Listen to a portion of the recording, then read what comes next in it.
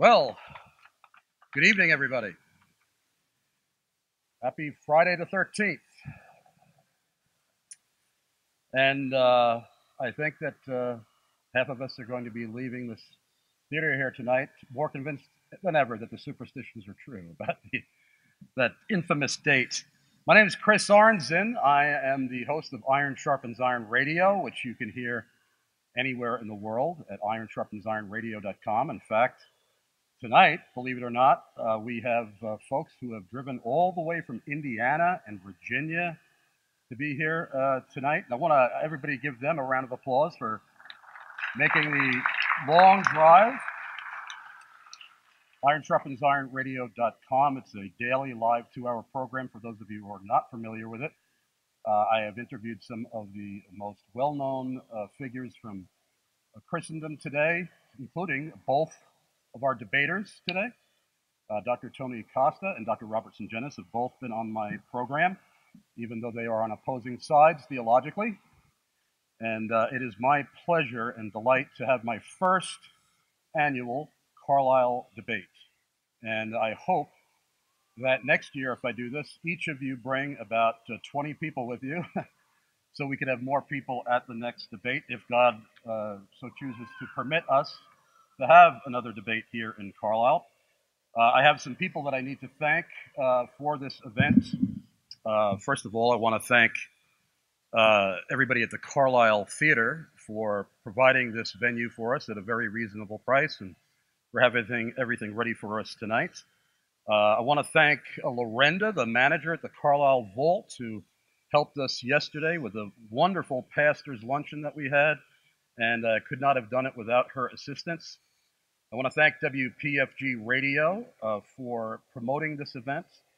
Uh, and I want to thank also Cumberland Valley Bible Book Services for sponsoring my program and making this event uh, possible as well.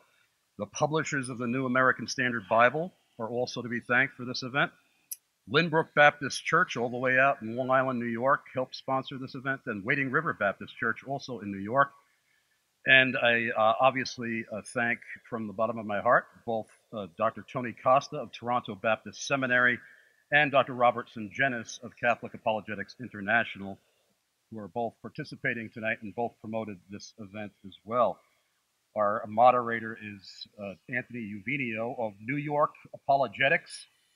And the thing that makes New York apologetics stand out is basically they just talk about theological issues like this you know, like supralapsarianism and whatnot, you know. But uh, Anthony Uvenio is our moderator, and I'm so delighted that he is here, and he has been a huge help to me, as has uh, Susan Hopkins, her son Joe Ignacio, and her daughter Jade Ignacio, who have been volunteering and helping out a great deal. And uh, also, uh, Austin is uh, here volunteering as a uh, videographer.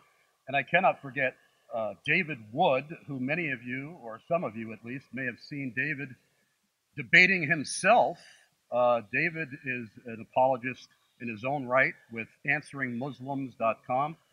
He is a former atheist who became a Christian and primarily debates Muslims uh, all over, and has debated them all over the world, some of the top Muslim clerics and scholars.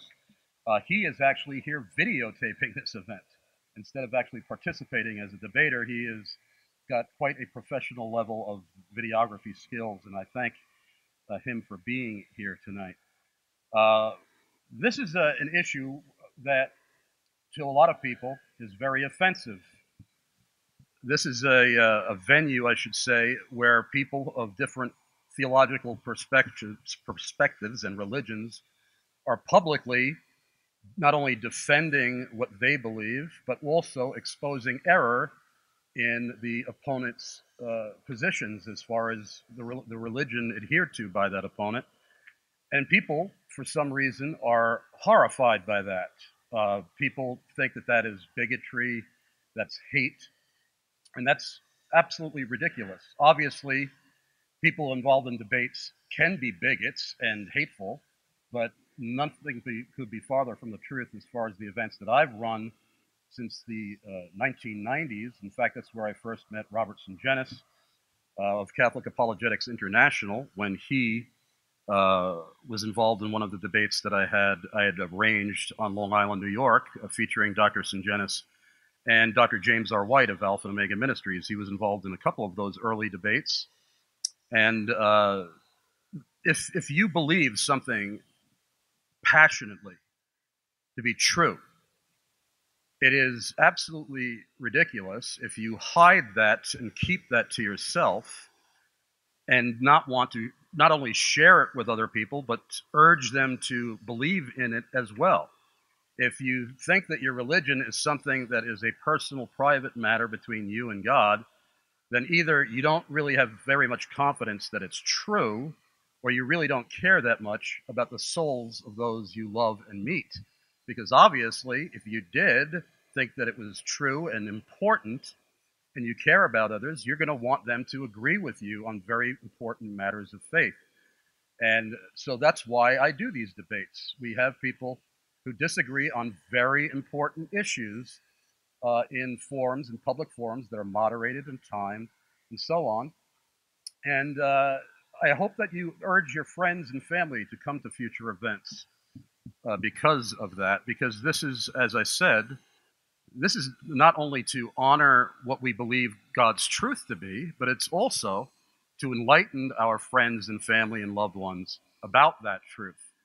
And if you believe what the Roman Catholic Church believes and teaches about Mary, then Protestants are very seriously in error. And if you are uh, a Roman Catholic and you're in error in the way that you honor Mary, if what you are doing and saying and believing about Mary is an error, those errors are very, very serious. Uh, there can only be one uh, side here that is uh, biblically uh, faithful on this issue, and even historically faithful as far as the Christian church is concerned. And so these men who are debating each other, they don't hate each other. They are trying their best to convince one another and you in the audience to believe in what they believe to be true. And uh, this is not an issue where it's like the difference between putting garland or tinsel on a Christmas tree or something like that. These are, these are vitally important issues. These are issues that have uh, eternity hinged on them. And uh, I hope that you take uh, the debaters seriously tonight. And by the way, I'd ask you to pray for uh, one of our debaters, uh, Dr. Robert Sungenis. He's, he's a very sick man. I'm not talking about his cold that he has. He's a very sick man. You got to pray for him. but uh, Robert Sungenis is, uh, I thank, I am very thankful that he showed up tonight, even though he is feeling very under the weather.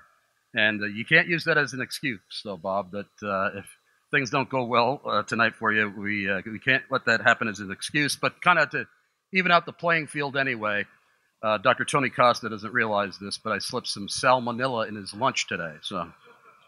They'll both be equally sick by the midway through the, uh, the event. But uh, I am uh, now going to uh, turn this over uh, to uh, Anthony Uvenio. Oh, by the way, just to get, let you know a little bit something about myself, I happen to be a former Roman Catholic. I was raised in the Roman Catholic Church. I was an altar boy. I went to the Catholic school for eight years. And in the 1980s, I became a Bible believing, born again believer in Jesus Christ. And I have many friends, family members, and loved ones who are Roman Catholic. And I do these things out of not only love for God and the truth of God primarily, but of, out of love for them. And I know that uh, uh, Dr. Robertson Sungenis is here and is a former Protestant. He may have began as a Catholic. We'll find out when he gets a more formal introduction from our moderator. But he was, for quite a number of years, a Protestant who became a Catholic.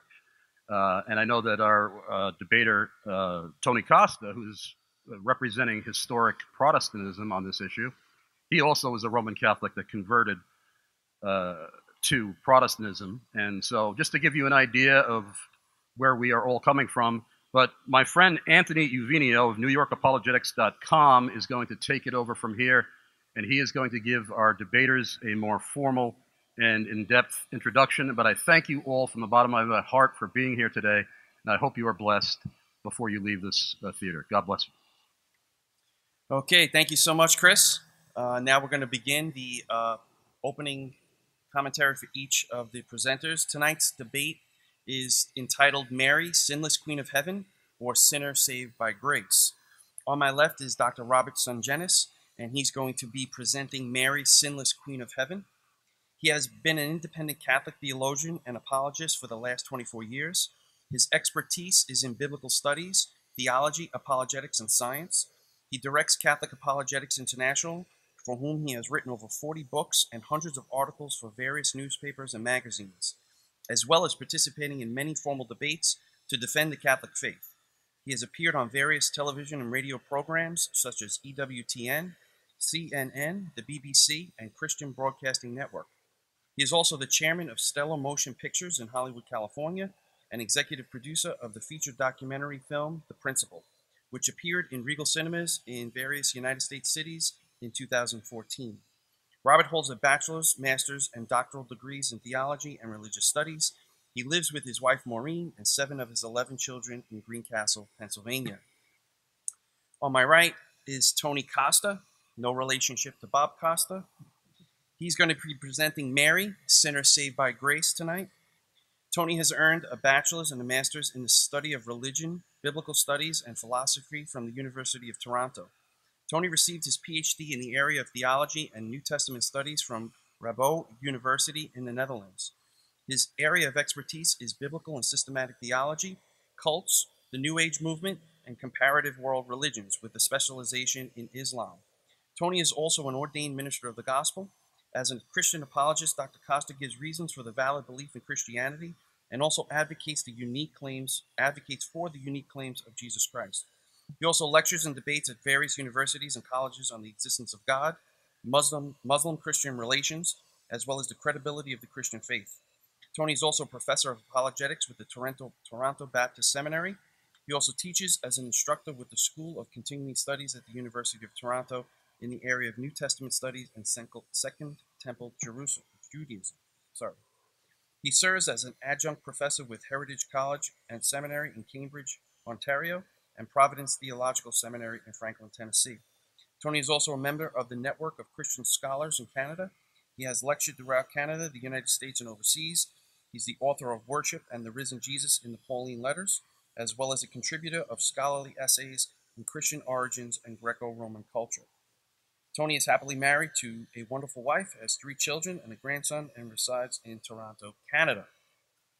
With that, my name is Anthony Vino, and I'm going to be keeping time uh, for this evening's debate. I'll be the moderator.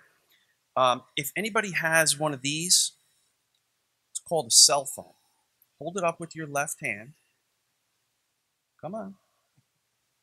With your right hand, go over to this side and turn the ringer off. Okay? We have plants in the audience who will confiscate your phones in the event they do go off. You can retrieve them on eBay for a small donation. Okay. During the debate, we're going to have no clapping, cheering, or booing, booing during or after the presenter speaks. We'll have a time at the end of the debate where we can clap and applaud both presenters for what they've done this uh, done tonight. Defending the sinlessness of Mary will be Robert Sungenis on my left, Defending Mary as a sinner saved by grace will be Tony Costa on my right. Each presenter will have opening statements of 25 minutes each, followed by a 15 minute rebuttal. At that point, we're going to take a 15 minute break in which you will be able to go to the tables in the, in the hall, get an index card, and write out a question for each one of the, each of the presenters or both of the presenters, which we're going to do at the conclusion of their closing statements. Now, if you didn't go to Catholic school, please give the card to your wife to write out the question. Because I don't understand hieroglyphics, and usually most of the men who write out these index cards, something's wrong. So I'm not going to be able to read that. Anyway, when we come back after the 15 minutes, we're going to go through our second rebuttal. Each, each presenter will have 10 minutes to do a rebuttal. Then we'll go into the cross examination. Each presenter will have 15 minutes to cross examine the other followed by another 10 minutes cross examination the other way. We'll then close with closing statements, five minutes each. Uh, Robert Sungenis is going to go first, and then Tony. At that time, we'll offer each participant a round of applause and collect the index cards. We'll do question and answer session from that point on up until 11 p.m. this evening. So those are the ground rules. Remember, hold your applause till the end. Please, again, another reminder, shut your cell phones Robert Sungenis is going to begin with his opening statements of 25 minutes.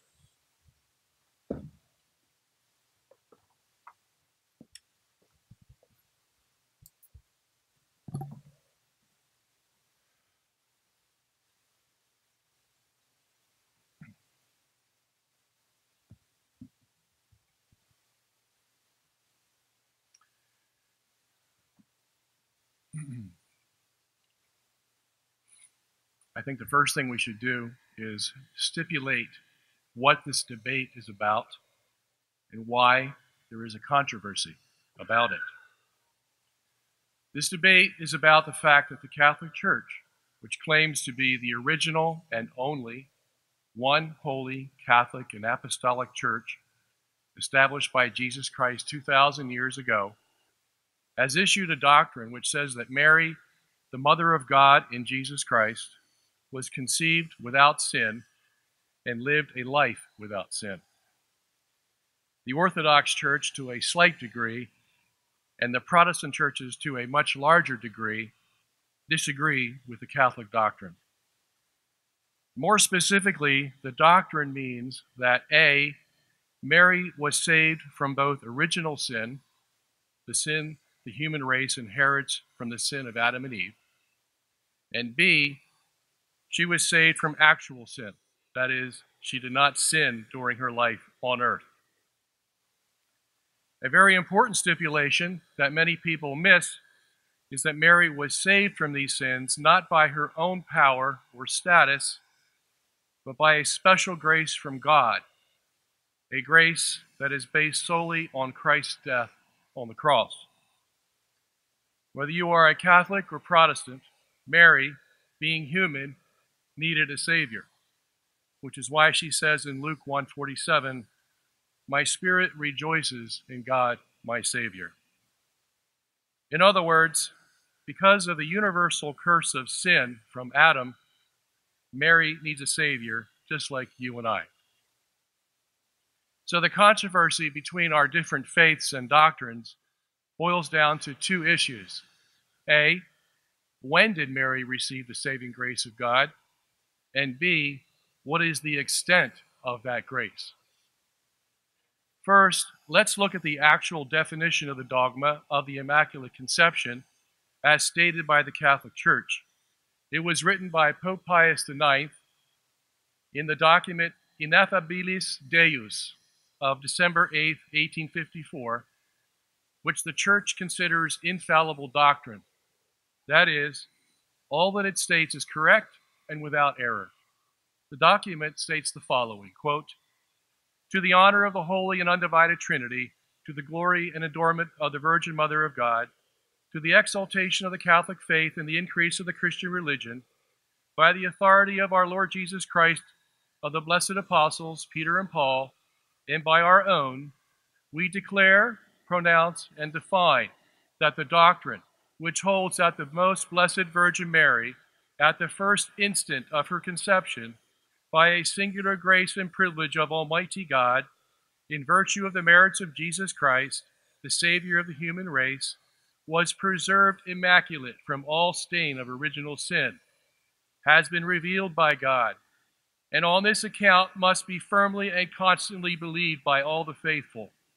Wherefore, if any should presume to think in their hearts otherwise than as it has been defined by us, which God avert, let them know and understand that they are condemned by their own judgment, that they have suffered shipwreck in regard to faith, and have revolted from the unity of the church. And what is more, that by their own act they subject themselves to the penalties established by law, if what they think in their heart they should signify by word or writing or any other external means. Unquote. As we can see, the Catholic Church holds that the doctrine of the Immaculate Conception is no small matter. It must be believed under pain of excommunication in the present and eternal judgment in the future. So, why what appears to be merely a peripheral doctrine and one involving only Mary and her personal status with God does it take on such an important status with such ominous consequences? Let's begin by asking the basic question of why would God decide to give Mary the grace at the exact moment she was conceived, sparing her from original sin? The reason is very simple and very important. If Mary had not received this special grace of God, we would have no Savior, and thus we would all be damned with no hope of salvation. That is why the doctrine of the Immaculate Conception is so important. Let me say that again in case you didn't hear it or understand it the first time. If Mary had not received this special grace of God, we would have no Savior, and thus we would all be damned with no hope of salvation. The reason is that the curse of sin, as demonstrated in what we call original sin, is inherited by the whole human race. Our first parents, Adam and Eve, contracted it when they sinned, and it was passed down to each generation thereafter as if it were a congenital disease. Simply put, if the mother has original sin, then her child will have it. We are stuck with it because we are Adam and Eve's children.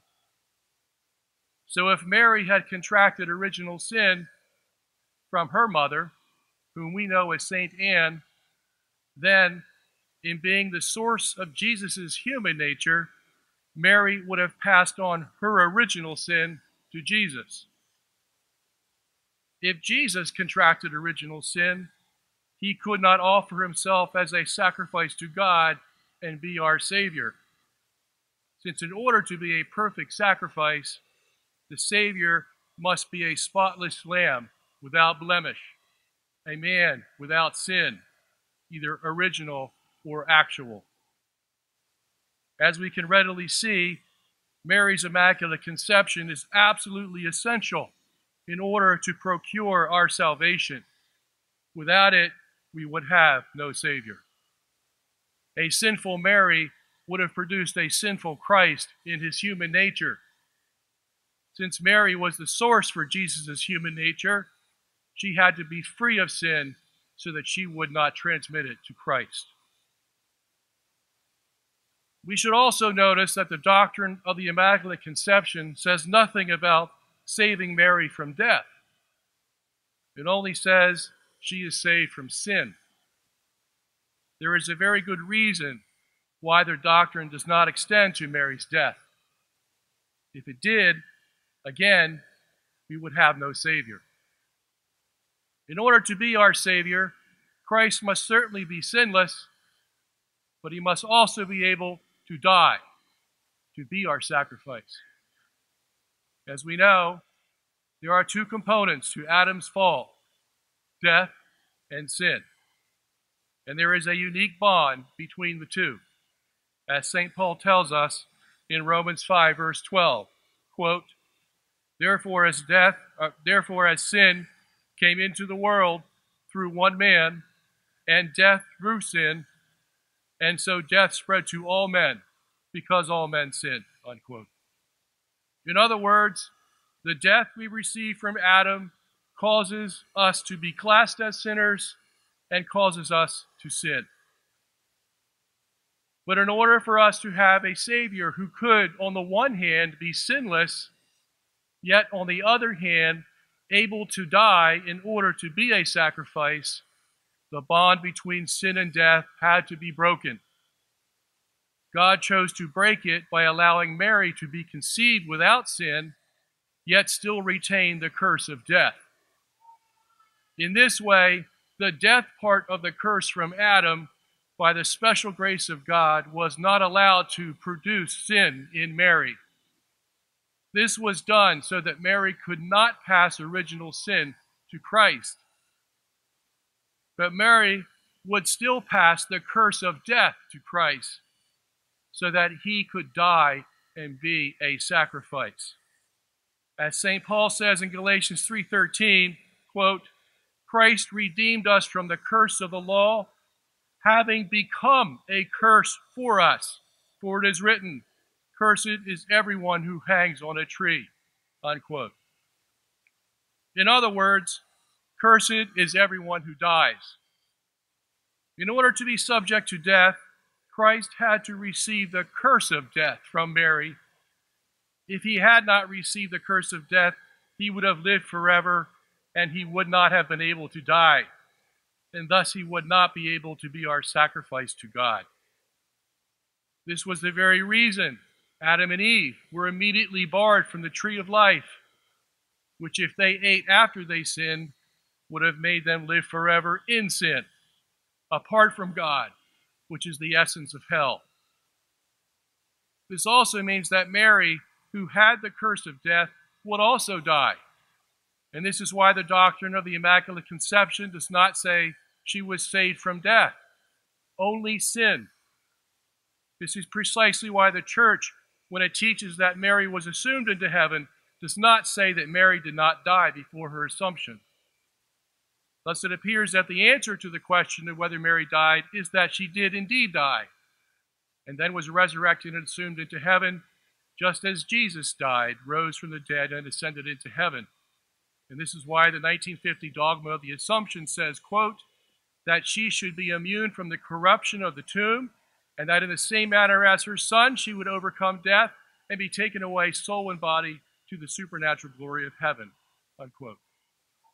If, as some believe, she did not die, then God would have had to intervene with another special grace to spare her from death, just as he did with Enoch and Elijah in the Old Testament, and that is certainly possible. To sum up, we needed a sinless Savior to be the perfect sacrifice to God. In order to be sinless, Christ could not inherit original sin from Mary. But in order to be a sacrifice, Christ had to die. And in order to die, he had to receive the curse of death from Mary. In order to break the bond between death and sin, God had to give Mary a special grace so that, on the one hand, she would be sinless, and on the other hand, able to pass death onto Christ. As we can see, the doctrine of the Immaculate Conception is not some spurious belief that the Catholic Church just haphazardly tacked on to Christianity because, as some Protestants believe, the Catholic Church has a bad habit of adding things to the Bible that the Bible does not explicitly state. No, the Immaculate Conception is a superlative, logical, and inevitable doctrine that can be distilled from all that Scripture says about Adam's sin and what was necessary in order for Christ to be our Savior. Simply put, without the Immaculate Conception of Mary, we would have no Savior and no salvation.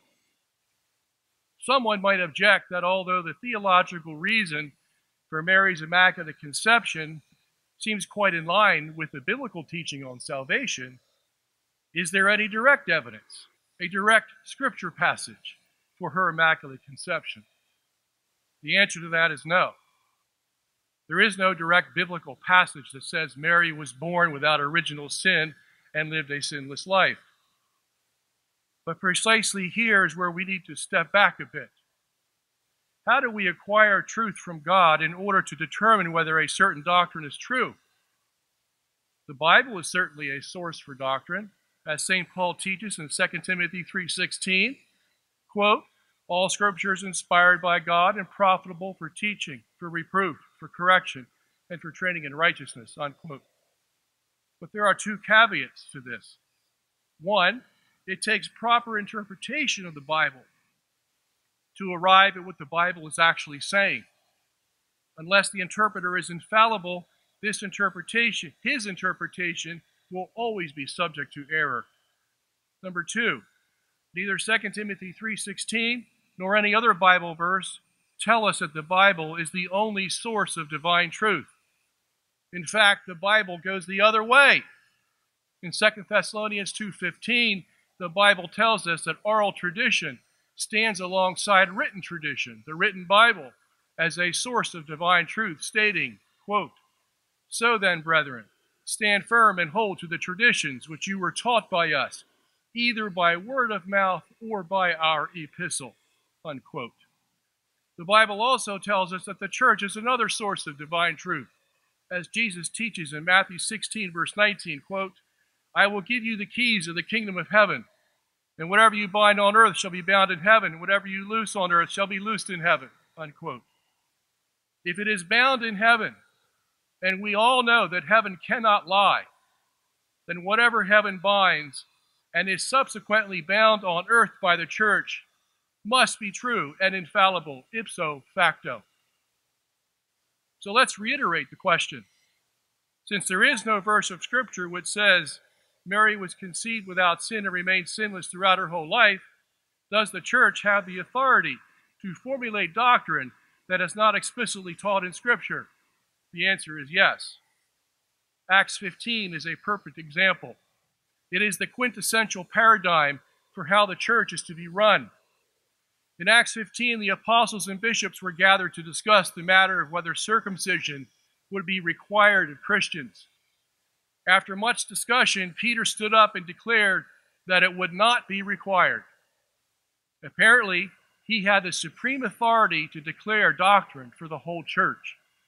But where did, this, did he get his information in order to make such a decision? He didn't get it from direct or explicit information in the Bible, since there was no verse in the Bible that said circumcision would cease when Christ came. A reading of Acts 15 tells us that Peter formulated the doctrine from his reasoning after God showed him years earlier that there was to be no more distinction between Jews and Gentiles, and thus no more distinctions like circumcision. Peter further stipulates that to insist on circumcision would be tantamount to disagreeing with what God decreed, namely, that the only thing required from the Gentile was faith in God's grace. So we see that Peter made the doctrine based on his distillation of what he had learned previously from God. In other words, the tradition had been set, and Peter followed that tradition. In the words of Jesus in Matthew 16 19, what Peter bound on earth was also bound in heaven. And as far as circumcision is concerned, it remains as such to this very day.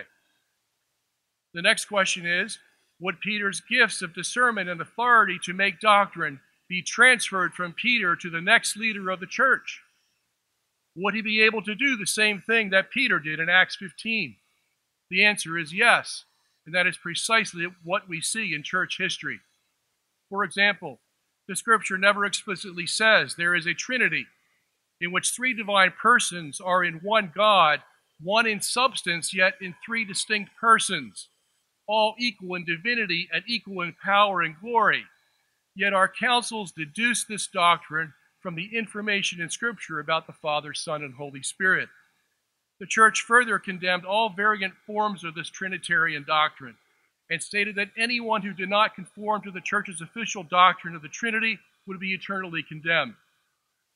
Likewise, Scripture never explicitly says that Christ was fully God and fully human, without mixture or confusion, Yet our councils deduce that truth from the scripture's implicit information. The council stipulated by the Greek words that Jesus was homoousios, not homoiousios. That is, Jesus was the same as God, not merely similar to God. Scripture never says that Christ had two wills, a divine will and a human will. Yet our councils deduce that truth from Scripture's implicit information, and anyone who rejected it was condemned. The Council of Nicaea dealt with the Arian heresy. The Council of Constantinople dealt with Apollinarianism and Macedonianism. The Council of Ephesus dealt with Nestorianism, and so on and so on.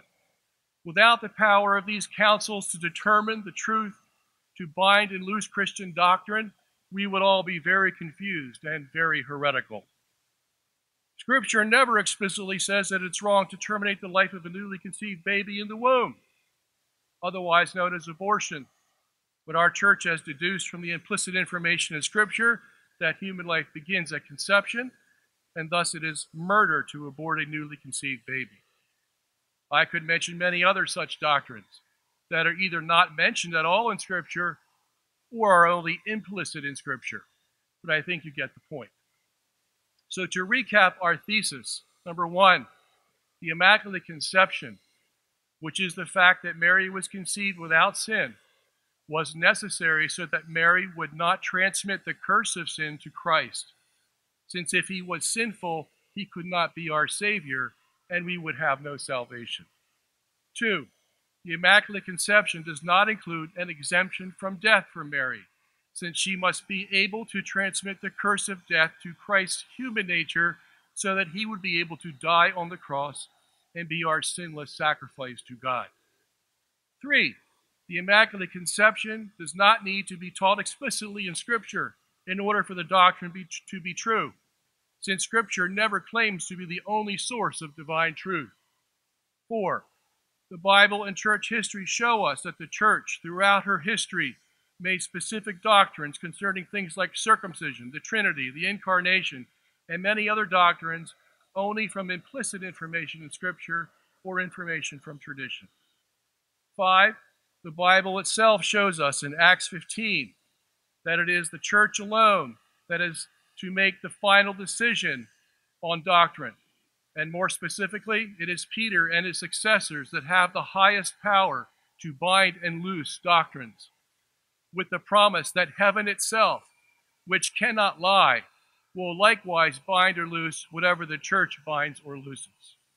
This is precisely what occurred in 1854 when one of Peter's successors, Pius IX, declared the doctrine of the Immaculate Conception of Mary and bound the whole church to believe it. Thank you very much.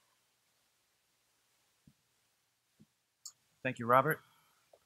And with that, Tony, Dr. Tony Costa will begin his 25 minute opening statement.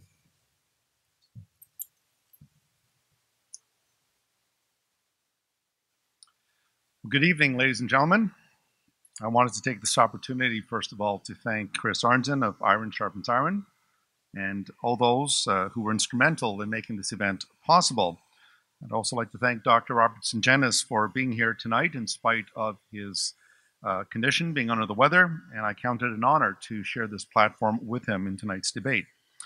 In dealing with the question of the Immaculate Conception, I'm going to argue against this position from two areas. Number one, the testimony of Holy Scripture, and number two, the history of the Church. Let us begin by first looking at the definition of the Immaculate Conception that was promulgated by Pope Pius IX in, on uh, December 18, 1854, in the bull Ineffabilis Deus.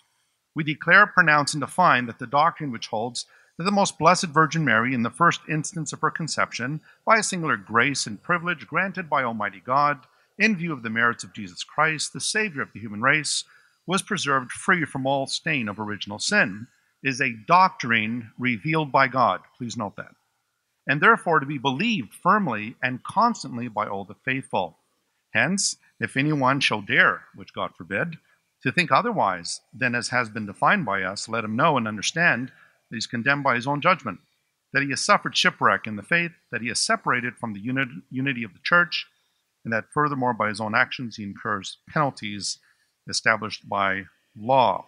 Furthermore, the bull asserts, and indeed, illustrious documents of venerable antiquity of both the Eastern and Western Church very forcibly testify that this doctrine of the Immaculate Conception of the Most Blessed Virgin, which was daily more and more splendidly explained, stated, and confirmed by the highest authority, this doctrine always existed in the Church as a doctrine that has been received from our ancestors and that has been stamped with the character of revealed doctrine. I will argue tonight that the document by Pope Pius IX, as it related to Mary, the Blessed Mother of the Lord Jesus Christ, is seriously flawed and is, in fact, disingenuous at best and should be rejected. I'm going to begin first with the scriptural testimony. It is clear from the testimony of Holy Scripture that all the progeny of Adam, all humans, have sinned and stand condemned before a holy God. This argument can be set forth as follows Premise number one all humans are sinners. Premise two Mary was a human. Conclusion therefore, Mary was a sinner. Scripture is very clear on the universality of sin, both in the Old and the New Testament. Surely there is not a righteous man on earth who does good and never sins. Ecclesiastes 7:20. Behold, I was brought forth in iniquity, and in sin did my mother conceive me. Psalm 51, verse 5. And then, for all have sinned and fall short of the glory of God, Romans chapter 3, verse 23. The testimony of Scripture is clear that all humans descended from Adam are conceived and born in sin with only one exception the Lord Jesus Christ. Scripture affirms about Christ that he alone was conceived by the Holy Spirit in the womb of the Virgin Mary, that he was without sin, Hebrews 4:15, holy, blameless, pure, set apart from sinners, Hebrews 7:26, unblemished, he committed no sin, 1 Peter 2:22, and in him is no sin, 1 John 3 verse 5. He had no sin, 2 Corinthians 5:21. And Jesus even challenged those of his day, can any of you prove me guilty of sin? John 8 verse 46. According to the Bible, Mary was a sinner saved by grace, like all of God's elect throughout history. She herself understood her sinful condition when she claimed in her Magnificat, My soul magnifies the Lord, and my spirit rejoices in God my Savior. Luke 1, verses 46 to 47. It is understood biblically that whenever God or Jesus are spoken of as Savior, this always implies that the human is utterly dependent on God or Christ for mercy and salvation. For what does a Savior do but save? Now, the first thing that has to be noted is that Roman Catholic scholars themselves have openly admitted that the doctrine of the Immaculate Conception was utterly unknown to the first century writers of Holy Scripture. Thus, the Catholic Encyclopedia states, and I quote, no direct or categorical and stringent proof of the dogma, Immaculate Conception, can be brought forward from Scripture. Close quote. It is no surprise then that any reader of the Bible realizes that very little is said about Mary outside of the nativity accounts. The last time we actually read about Mary in the New Testament is in the book of Acts, chapter 1, verse 14, as she's in the upper room awaiting the coming of the Holy Spirit on the day of Pentecost. After that, she disappears from Scripture. The book of Acts no longer mentions her again. She does not appear in the epistles of the New Testament or the book of Revelation, except for a vague and indirect allusion in Galatians 4 4, where Paul speaks of Jesus being born of a woman and also being born under the law. This does not mean that Mary was not important, but what it does mean is that she is not central to God's saving purposes. The center or focal point of God's purpose and glory is his Son, Jesus Christ. All the law and the prophets and all the scriptures point to him. As Jesus said in Luke 24, 27 and 44, and beginning with Moses and the prophets, he interpreted to them in all the scriptures the things concerning himself. Then he said to them, These are my words that I spoke to you while I was still with you, that everything written about me in the law of Moses and the prophets and the Psalms must be fulfilled. The gospel is about Jesus Christ, his death, burial, and resurrection. And thus, in 1 Corinthians 15, verses 3 to 4, the Apostle Paul delivers to us what is believed to be the earliest creed of the church. And there he states that this is the gospel that I proclaim to you. It is by this gospel that you are saved and then he proceeds to define that gospel and says that Christ died for our sins according to the scriptures, that he was buried, and that he was raised again on the third day according to the scriptures, and that he appeared. And this forms the heart of the gospel. And it's for this reason that the preaching in the book of Acts is all about the gospel. The apostles never mentioned the Immaculate Conception or the place of Mary in their gospel preaching because she was not the center of God's salvation. During Jesus' own ministry, a woman said to him, and I quote from Luke chapter 11, verses 27 to 28. As he said these things, a woman in the crowd raised her voice and said to him, Blessed is the womb that bore you, and the breasts at which you nursed. But he said, Blessed rather are those who hear the word of God and keep it. And you'll notice that throughout the Gospels, there's this emphasis on the spiritual family of Jesus. In fact, he even raises the status of his spiritual family above that of his own physical family. We're told in the Gospel of Mark, chapter 3, that in one incident, it says that Jesus, mother, and his brothers came for him as he was teaching, and he was told, Your mother and your brothers are outside calling for you, waiting for you. And Jesus says, Who is my mother? Who is my brother? Who is my sister? And he turns to those who are hearing him and he says, Behold, these are my mother, my brother, and my sister. Tertullian made a very interesting observation. He said that at this point, he said, the Lord was, was hurt by the fact that his family was trying to take him away from his teaching ministry.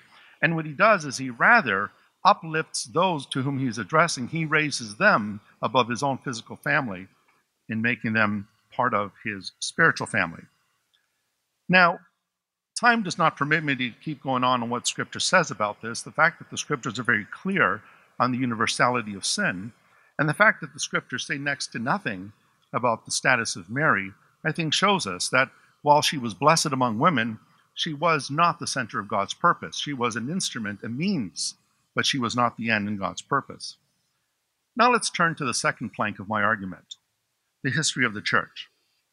It is a fact of history, which is acknowledged by both Roman Catholic and Protestant scholars, that the Immaculate Conception of Mary was not explicitly taught by the Apostolic Church, that is, the Apostolic Fathers, or even the Church Fathers that followed them. For example, Roman Catholic scholar Dr. Ludwig Ott notes, and I quote, the doctrine of the Immaculate Conception is not explicitly revealed in Scripture. Neither the Greek or Latin fathers explicitly teach the Immaculate Conception of Mary from his fundamental Catholic dogmas. Now, what is quite interesting is if you remember, the Bull of Pius IX said that this view of the Immaculate Conception, this idea has always been taught in the history of the Church and has always been held to. But history bears something different. In fact, it contradicts the statement of Pope Pius IX. Because among the fathers, there were those who did believe that Mary actually committed acts of sin. Among them are people like Irenaeus.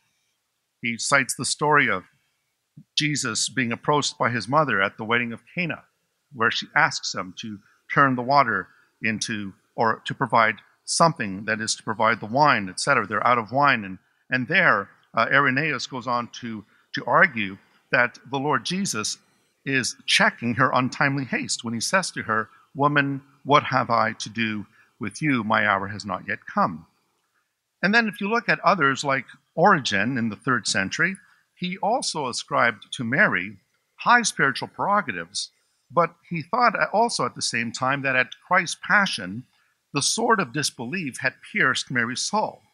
And he believed that the sword that is mentioned in uh, Luke chapter 2, where Simeon says to her that a sword will pierce your own heart, he believed that this was actually the sword of doubt that Mary experienced at the foot of the cross. In the same manner, St. Basil of Caesarea, one of the Cappadocian fathers, he writes in the fourth century um, that he also sees the sword of doubt, which Simeon speaks about, as being that event at the cross where Mary was doubting Jesus Christ and his mission. Others, like St. John Chrysostom, accused her of ambition and putting herself forward unduly when she sought to speak to Jesus at Capernaum in Matthew 12, the story that I related to you, also found in the parallel in Mark 3. We also find this in Cyril of Alexandria. He also believed that Mary had committed acts of sin. So, all of these fathers, by the standard of Pope Pius IX and Ineffabilis Deus, these fathers would be considered cut off from the church because they actually believed that Mary committed sins. You'll notice that none of these fathers had an inkling of the doctrine of the Immaculate Conception. Now, some of the later fathers, like Augustine, came to believe that Mary committed no personal sins, but that she was still conceived in sin. Some believe that at some point following her conception, she was sanctified in the womb, or she was sanctified when Christ was conceived in her, or following the birth of Christ. However, Augustine and his teacher Ambrose did not believe in the, in the Immaculate Conception. Augustine writes, for instance, quote, He, Christ, therefore alone, having become man, but still continuing to be God, never had any sin, nor did he assume a flesh of sin, though born of a maternal flesh of sin. And Augustine argued that the reason why Mary died was because she had inherited sin. And therefore, Roman Catholic scholar Boniface Ramsey admits, quote, we do not yet find the doctrines of Mary's Immaculate Conception and her Assumption in Ambrose. Church historian G.N.D. Kelly notes he, that is Augustine, did not hold, as has sometimes been alleged, that she, Mary, was born exempt from all taint of original sin, the later doctrine of the Immaculate Conception. Affirming the same is Roman Catholic uh, scholar Peter Stravinskas, who said, and I quote, Augustine believed her to fall under original sin's dominion. And so, what we are beginning to notice here, folks, is many of the fathers would be considered heretics by the standards of Pope Pius IX's bull, Ineffabilis Deus. Now, it should be noted as well that it's not just Protestants that reject the Immaculate Conception, but Eastern Orthodox Church theologians have criticized the Immaculate Conception. In fact, some of them at the time charged it as a mere innovation of the Roman Catholic Church. Now, it's quite interesting that in Augustine's debate, his famous debates with the heretic Pelagius over original sin, it's quite interesting. It was actually Pelagius who argued that all humans, including Mary, were immaculately conceived, and that the soul had no taint of original sin, as Adam's sin was not imputed to the human race, according to Pelagius. So, really, when you think about it, Pelagius actually was a fan of the Immaculate Conception and argued he went beyond Augustine and said Mary was in fact immaculately conceived, but so are all the progeny of Adam. So, when does this doctrine begin to formulate? Well, most scholars place it around the time of the British monk Eadmer, his dates are 1140 to 1150, who was a pupil of St. Anselm of Canterbury, and he began to first write about the idea of the Immaculate Conception. In the 13th century, John Duns Scotus promoted the doctrine of the Immaculate Conception, and so did the Franciscan monks that continued to preach and defend this doctrine. However, it was vehemently opposed in the 12th century by St. Bernard of Clairvaux. And St. Bernard of Clairvaux said, well, if Mary could be immaculately conceived, well, why stop there? Why couldn't her mother be immaculately conceived? Why couldn't her grandmother be immaculately conceived? And so on and so forth. And also in the 13th century, the Immaculate Conception was vehemently denied by the greatest Western doctor of the Church, whose philosophy the Roman Catholic Church still follows to this day, St. Thomas Aquinas, who in the 13th century also opposed the doctrine of the Immaculate Conception that Eadmer and that John Duns Scotus was promoting. And not only, John, not only St. Thomas Aquinas opposed this, but the Dominican friars also opposed the doctrine of the Immaculate Conception. So once again, what does this uh, what does this reasoning come from that this has always been the faith of the church? If this has always been the faith of the church, then why is it that there is so much opposition to it when it begins to appear on the scene? We have to seriously ask this question because I really find this disingenuous at best. Now, in order to force this idea of the Immaculate Conception, they also turned to Marian apparitions. They were even appealed to by both camps, both the Franciscans and the Dominicans, to argue for their respective positions. So, for example, St. Bridget had a vision of Mary who allegedly told her that the doctrine of the Immaculate Conception was true, while St. Catherine of Siena received a revelation that Mary was not immaculately conceived, but was sanctified in the womb three hours after her conception. So now we have two canonized saints in the Roman Catholic Church teaching two contrary things. And if if if this if if this doctrine has always been the faith of the church, why has there again been so much contradiction in this area? And so here you have two saints canonized by the Roman Church who received visions and revelations from the Virgin Mary, both of which contradict one another. But it gets worse. Another significant factor to be considered is that there has been a total of seven popes in history who have denied the Immaculate Conception. Now we're running into some serious problems in terms of authority and the successors of Peter. seven of these popes that have opposed the doctrine of the Immaculate Conception Leo I, also known as Leo the Great, Pope Gelasius I, Pope Gregory I, also known as Pope Gregory the Great, Pope Innocent III, Pope Innocent V, Pope John 22nd, and also Pope Clement Sixth. Now, what do we find here? Once again, we find the New Testament has no warrant for this doctrine. The Apostolic Fathers, Irenaeus and others in the second century, did not teach this doctrine. The fathers that came in the third century did not teach this doctrine. By the time we get to Augustine and Cyril of Alexandria and Cyril of Jerusalem, there's talk about Mary being sanctified sometime after her conception. Some teach it was when Christ was conceived in her. Some teach when Christ was born. Some teach shortly after her conception.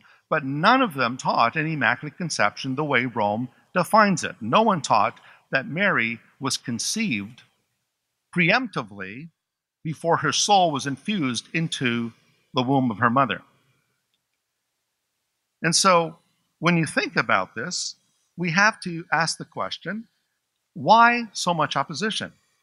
Now, before 1854, before this bull was issued by Rome, you have, you have to also understand that this was prior to Vatican I, which took place in 1870, when the doctrine of the infallibility of the Pope was officially declared, Vatican I, 1870. In 1849, Pope Pius IX was sending around his intentions to the bishops, archbishops, and so forth, of his intentions to declare Mary to be the Immaculate Conception.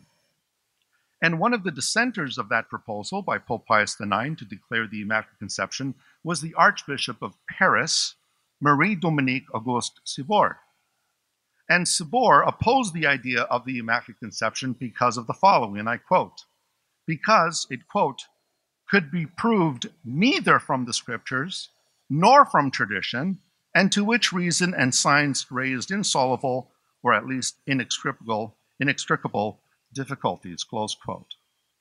So you notice the arguments are the same. Scripture does not support this. The tradition of the church does not support this. And in fact, Archbishop Sibour was correct. Now, one thing I want to make clear so that both our Protestant friends and our Roman Catholic friends are on the same page the Immaculate Conception does not mean that Mary was virgin born. And in fact, this is one area where a lot of folks think that the Immaculate Conception, a lot of them confuse it with the virgin birth of Jesus. And they're obviously not the same thing. The Immaculate Conception does not mean that Mary was virgin born. The Immaculate Conception means that when Mary was conceived in the womb of her mother, she was conceived without the stain of original sin, so that her redemption was preemptive. That is to say, she was saved preemptively, whereas all other people are saved after uh, attaining original sin and, of course, uh, living and needing the grace and mercy of God. So we want to be on the same page here. We don't want to re- misrepresent each other. We want to understand. But I submit to you that the argument does not follow. The argument that is proposed by Rome, I think, is seriously defective it is unbiblical. It goes contrary to Scripture. The Immaculate Conception is not explicitly taught in Scripture, nor is it implicitly taught.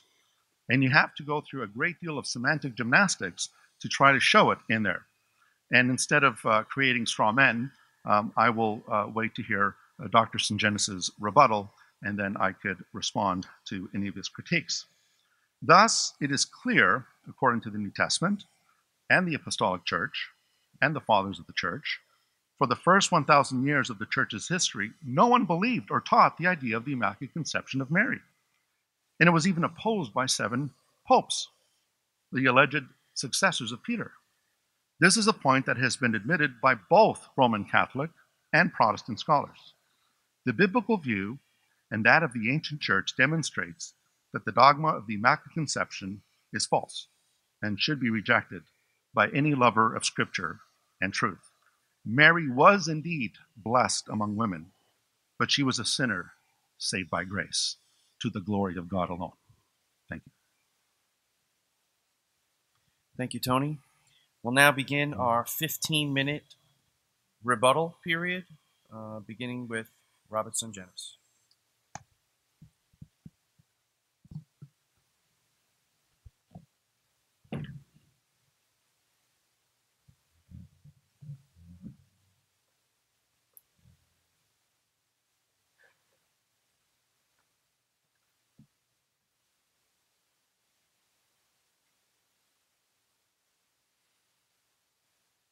Okay, let's get right to it.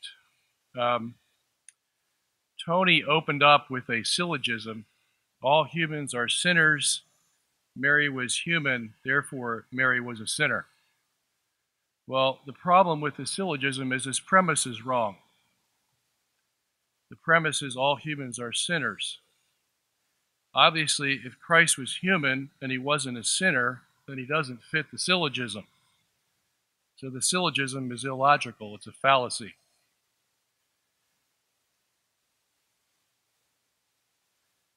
Tony's final comment, and I want to start with that, was that no one believed in the Immaculate Conception. Well, I'm going to go through a bunch of fathers here and a bunch of councils, but I think it's important to understand that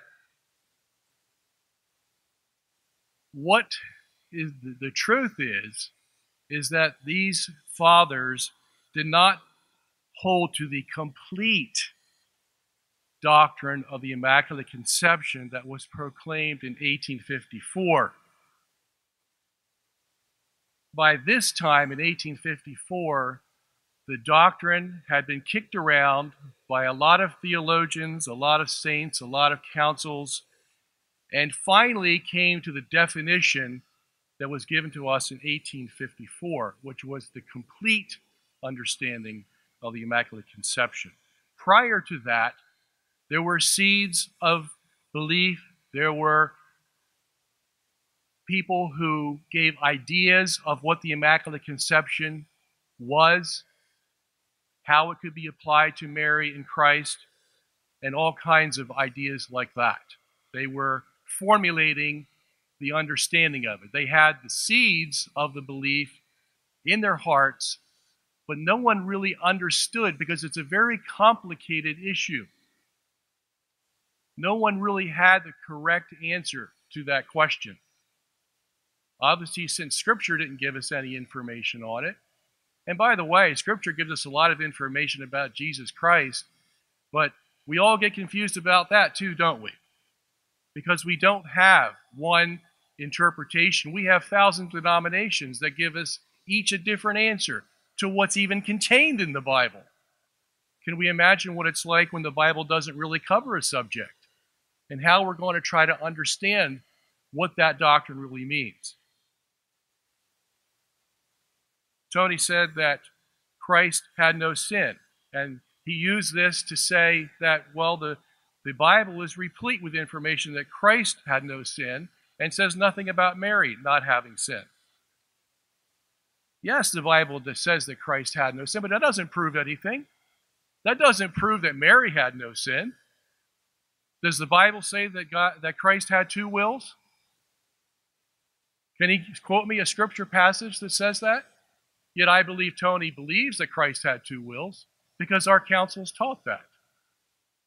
You'll, know, you'll not find a passage in scripture that teaches that.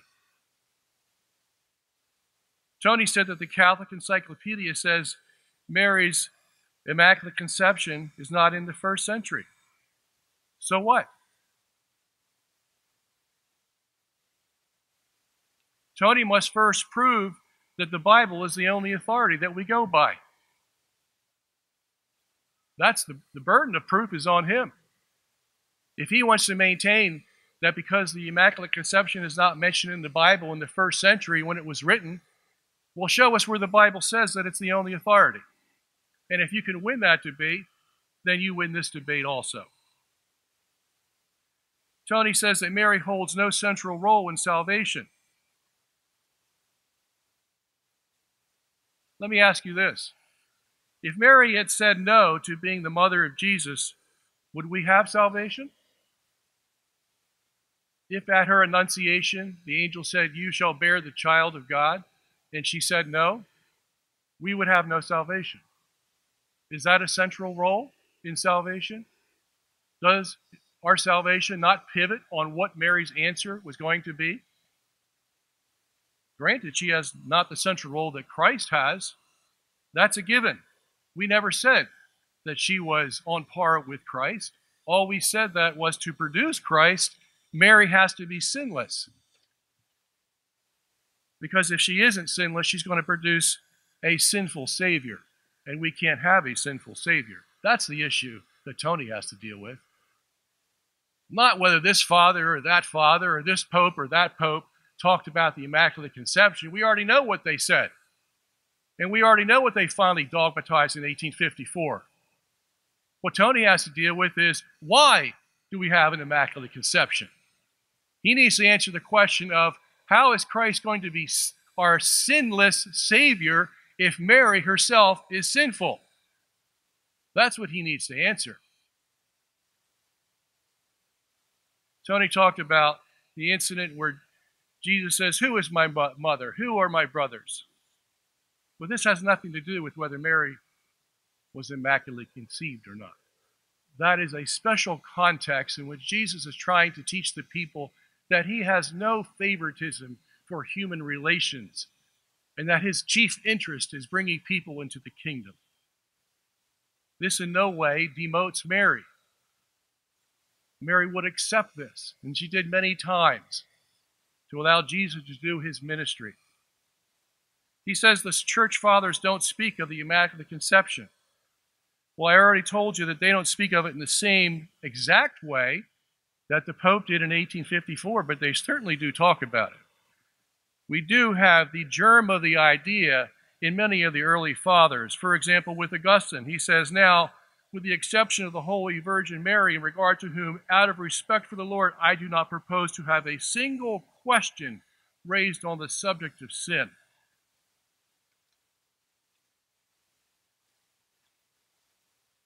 Dealing with Ambrose, which is one of the fathers that Tony mentioned, he says in his commentary on the Psalms, a virgin not only undefiled, but a virgin whom grace had made inviolate, free of every stain of sin.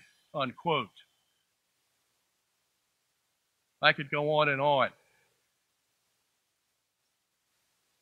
He says Irenaeus says Mary sinned. He says St. Basil and Chrysostom and Cyril had problems with Mary possibly sinning. Well, the same Catholic encyclopedia that he quoted from says that these fathers do not constitute a tradition for the church. There were basically only five fathers who had doubts about whether Mary was sinless or not. But there were hundreds of fathers in the early centuries of the church. I can go down a whole list of them for you who were in favor of the Immaculate Conception. I already mentioned two of them. We had Theodotus, St. Proclus, Hesychius, Basil of Seleucia, St. James of Sarug, St. Athanasius, St. Sophronius, St. Modestus, St. John Damascene. I could go on and on. I have a list here of about 50 of them. So when we're going to look at the fathers, let's look at, first of all, the fact that the church has no problem with the fathers disagreeing with the Immaculate Conception because it wasn't a defined dogma yet. The church holds that anyone can disagree with any idea they want to until the church dogmatizes it and makes it infallible. For example, the canon of Scripture. We had the canon of Scripture from the Council of Rome in 380 AD. The same scriptures that we have today. But the church hadn't dogmatized it yet. We had other councils that confirmed that scripture. The Council of Carthage in 419, the Council of Florence in 1440, but not until the Council of Trent in 1563 when the canon of Scripture was dogmatized and the church said this is the final seal of our authority that this is the Bible and there will be no books added and no books taken away, could we never again argue with the canon. But up until that time, even saints in the Catholic Church argued what the canon was. Cardinal Cajetan argued that there were seven books that should be added or taken away from the New Testament. And he was right before the Council of Trent. Okay? So arguing or having misunderstandings or having doubts or anything doesn't mean a thing. All it means is the doctrine is being discussed. And sometimes those doctrines are discussed for centuries before the church dogmatizes them. The doctrine of the uh, doctrine of the Eucharist was one just like that. It wasn't dogmatized until the Council of Lateran in 1240. But the church had tossed this doctrine around back and forth for centuries prior to that. So all this talk about this father didn't believe this, it doesn't amount to anything. What he has to deal with, Tony Costas has to deal with, is why do we have the doctrine? What does it mean? And if it's so theologically incorrect, why? That's what I want to know. That's what you should want to know. How else is he going to explain to us how Christ became our sinless Savior?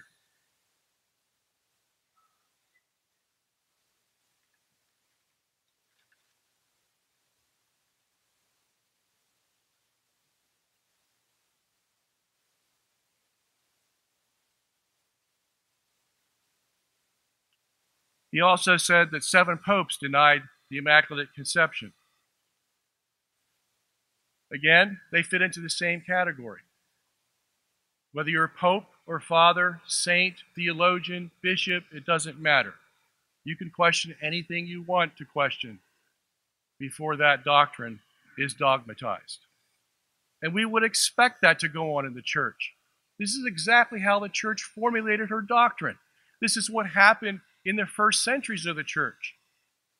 I mentioned earlier the Trinitarian doctrines and the doctrines of the incarnation.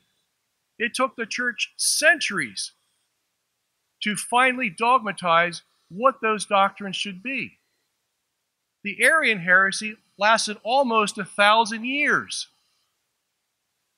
even after the church dogmatized it. These things don't go away all of a sudden. But the discussion is for the church so that the church can finally make a decision. That's why I covered Acts chapter 15. It says in the very chapter there was much discussion going back and forth between the, el- the apostles and the, and the bishops about what the truth of this matter was. There was a big controversy that occurred. How was that controversy settled? It was settled once and for all when Peter stood up and said, The Gentiles do not have to be circumcised. Case closed. And all discussion stopped. And as I said in my presentation, that's what happened in 1854. There were centuries of discussion back and forth about the Immaculate Conception, and Pope Pius IX, just like Peter, stood up and said, Mary was immaculately conceived. End of discussion. And that's what we need in the church. That's the only way the church can survive. If a leader of the church who has the authority to make doctrine stands up and says, after all the discussions in all the centuries of the church, we are now declaring and pronouncing and defining that Mary was immaculately conceived. So all that happened before proves nothing for Tony, nothing at all. And again, the burden he has is to tell us why he thinks it's so theologically irrational to have Mary conceived without sin, if indeed the very fact that she's conceived without sin means that we have a sinless Savior, precisely to be the sinless sacrifice that God requires for our salvation. Thank you. Thank you, Robert. And with that, Tony Costa is now going to give his first rebuttal of 15 minutes.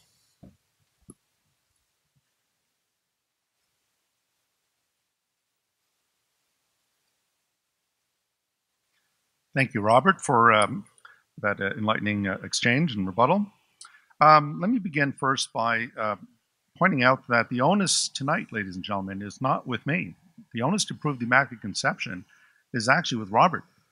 Because you see, as I pointed out, Roman Catholic scholars and Protestant scholars have always acknowledged that the Immaculate Conception is not taught in the New Testament. It's not taught in the Apostolic Fathers. I've pointed out the seven popes who are the alleged successors of Peter who've denied it, and Robert just dismisses it as unimportant. It's very important. These were men who were looked at as the successors of Peter, leaders of the church, and so forth. Now, let me begin with the syllogism uh, that I pointed out. All humans are sinners, um, and uh, Mary is a human, therefore Mary is a sinner. All I simply stated was what Paul stated in Rome, Romans 3:23, that all have sinned and come short of the glory of God. Now, this is not a fallacy. You see, the point is that if the premise is true, and if the premise is granted, then it's a valid argument, and the conclusion follows from the premise. Now, notice that I did not say that um, that this would apply to the Lord Jesus Christ, because the Lord Jesus Christ was not just human. This would be the heresy of monophysitism that Christ only had one nature. Christ is unique, head and shoulders above the rest, because he is the Deus homo, he is the anthropos, he is the God man. And therefore, the universality of sin does not apply to the Lord Jesus Christ. And I believe that that syllogism still stands. Now, Robert was saying that uh, there's seeds of belief, there's seeds going around, and there's seeds of the Immaculate Conception. Where are these seeds? Where are they? And, and, and has the church infallibly defined what these seeds are? The only two passages that Pope Pius IX alludes to is Genesis 3.15, which has been ripped out of its context, where the seed of the woman is clearly the Lord Jesus, not Mary who stomps on the serpent's head. It's Christ that, uh, that bruises the head of the serpent. And then Luke 1.28. Now, let me also address something else. He said, well, well, Christ had no sin. And that's true. He had no sin. And he said, but Mary passed on the curse of death onto her son. Now, that is a very theologically dangerous statement to make. Because you see, Romans 6.23 says the wages of sin is death. And that means that if Christ died, then that means that he sinned. But here's a very important qualification that has to be made. What did the Lord Jesus say in John 10? No one takes my life from me. I have the authority to lay down my life. I have the authority to take it up again. Why did Christ die? Because he willed it. He willed it to die, to give his life up as a ransom for his elect. No, Mary did not pass on the curse of death to her son because he is the life, he is the resurrection. He gave up his life willingly, not because of sin, but because of his own divine will. Now he said, uh, Well, where does the Bible say that Christ have two wills? You see, the underlying premise here tonight, ladies and gentlemen, is that Robert is operating under the thesis of sola ecclesia. He does not believe in sola scriptura. He doesn't believe scripture alone is the ultimate authority. His ultimate authority is Rome. What does Rome say? And so, sola ecclesia is the underlying, the underpinning of his whole argument that the church alone determines what is true. Now, he also said, well, can Tony explain the tools of Christ? I'd be glad to. When Jesus is in the Garden of Gethsemane, we see very clearly there he has a human will. Not my will, but thy will be done. Obviously, Christ has a human will, he can distinguish that human will from the will of the Father. But elsewhere he says, I have come not to do my will, but the will of him who sent me, to give my life for the world. And so, theologians like Gregory of Nazianzus and many others rightfully saw that Christ had two wills. But what Robert didn't tell you is that one of the bishops of Rome, Honorius, was a monothelite. He was a heretic who believed in the one will of Christ. And yet he was a bishop of Rome, teaching heresy. And what was the one thing that kept Athanasius going? What Robert did not mention is that Athanasius was exiled five times by the empire. Do you know that after Athanasius fought for orthodoxy? Do you know that the whole world turned against him? You know that even the Bishop of Rome sided with the Arians? And this developed the idea of Athanasius contra mundum. It was Athanasius by himself against the world, against the Bishop of Rome and others who had sided with the Arians. And what was his basis for the deity of Christ? He didn't go to church tradition. He didn't go to the Bishop of Rome. What was his basis? He said, The scriptures, he said, these are the fountains of salvation. It is to these that we go to determine truth. What convinced Athanasius that the deity of Christ had to be protected was not church tradition, it was, in fact, the authority of the Holy Scriptures. Now, Robert said, well, what if Mary said no to God? We'd be in really big trouble. So the salvation of the world hinges on a human being. Now, think about this the potter is subject to the clay, the Almighty is subjecting himself to a creature.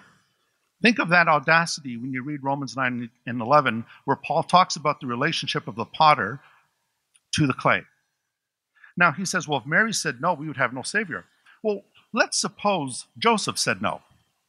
When the angel said, Do not fear to take Mary as thy wife, for that which is conceived in her is of the Holy Ghost. Let's say Joseph said, Nah, I'm not going to live with this.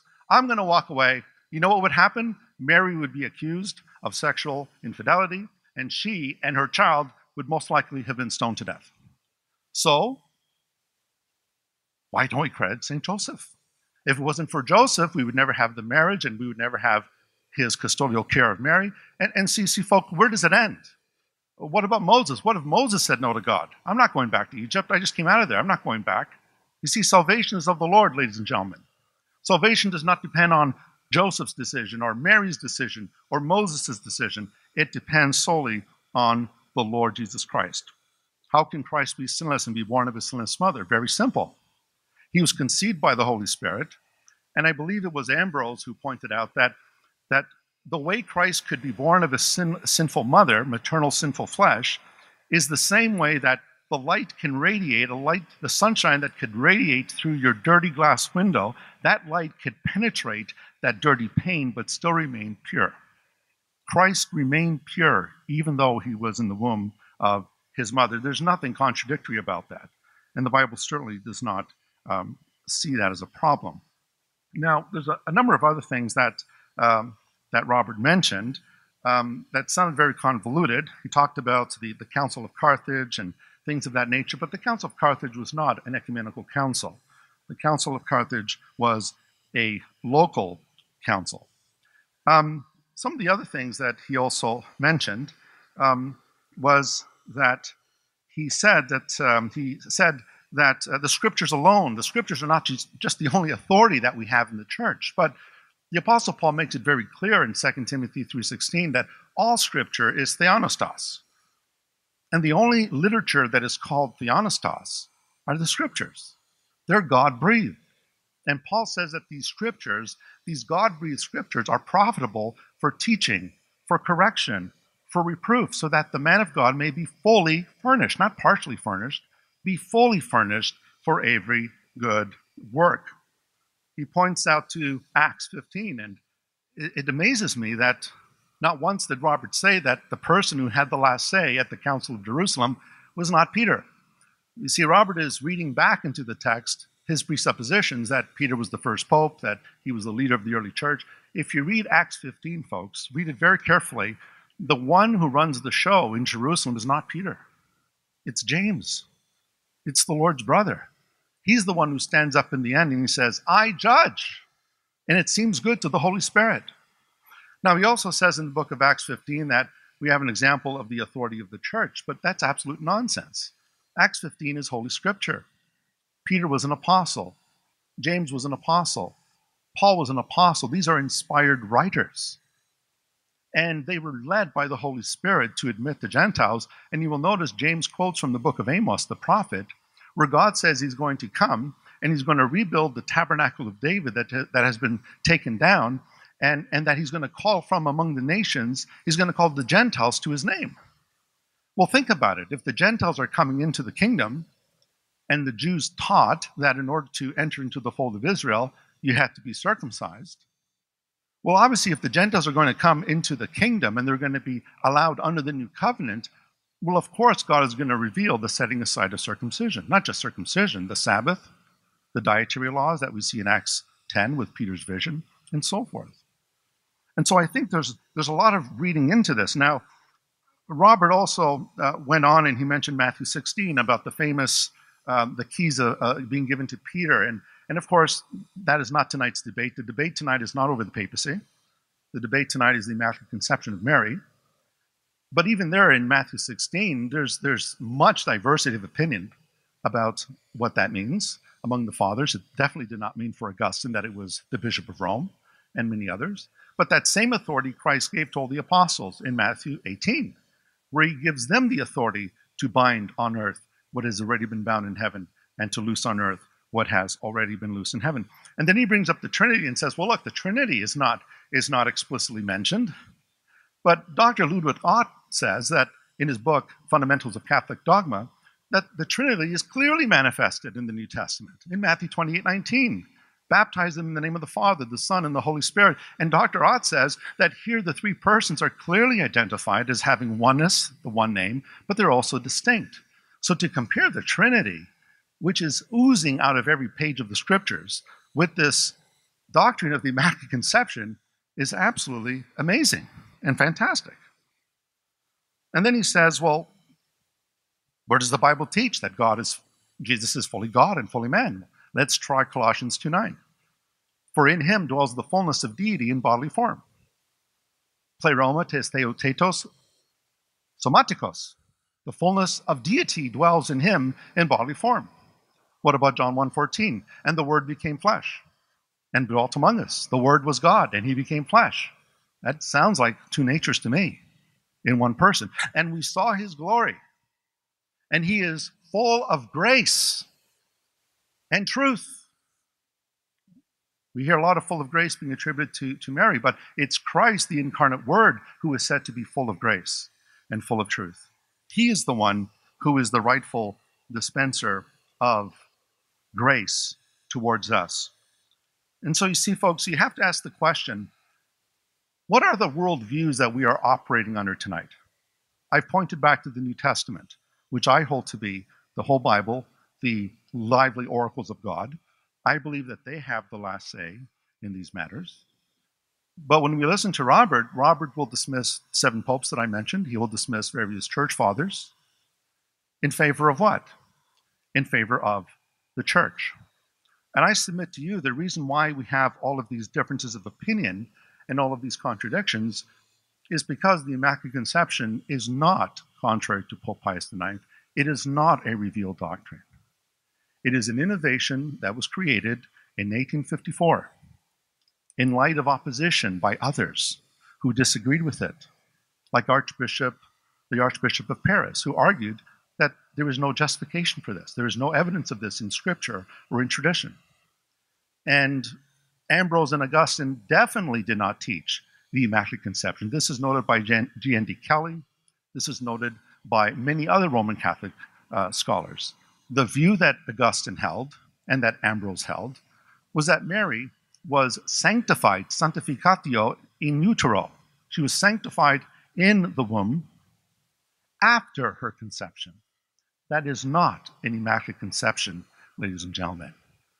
And so when he says, well, who cares what the fathers say? Well, it's important to look at history it's important to, to ask the question what did these men think in the early period of the church?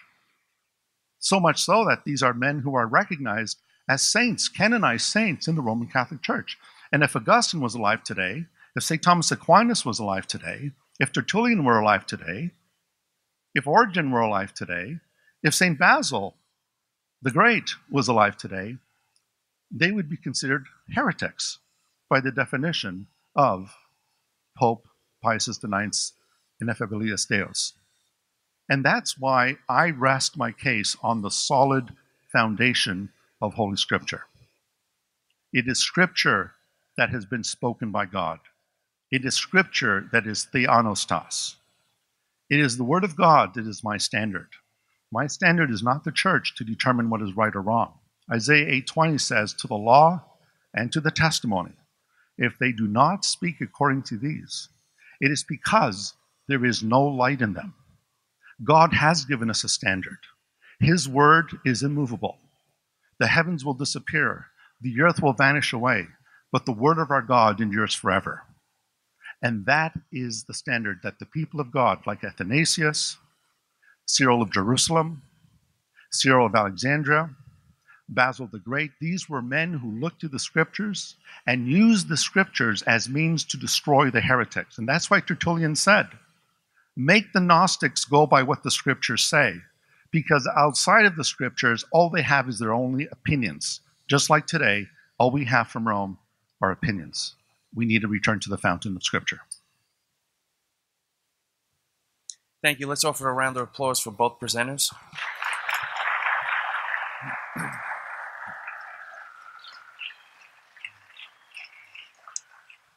What we're going to do is break for 15 minutes, but before you leave, in the foyer, there's two tables set up uh, with books that you can buy from the vendors.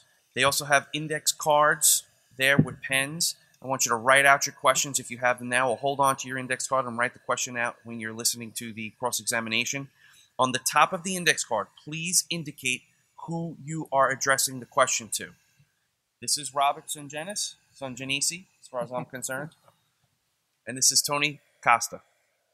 So make sure you put on the top of that index card who you're addressing your question to. If there's no name on the card, I'm going to put it on the on the back burner until we go through the, the cards with the names on top. Okay, so it's 8:40 right now. We'll be returning into this auditorium before 8:55. We're going to start 8:55 sharp. Thank you. Okay, let's begin to take our seats and prepare for the second half of the debate. Before we uh, begin that, Chris Arnzen is going to uh, step up to the microphone and just give a, a brief word. Hello again, ladies and gentlemen. Uh, I uh, hope that uh, you know that you have to put your question in that basket up there. So if you haven't done that, please do it as quickly as possible.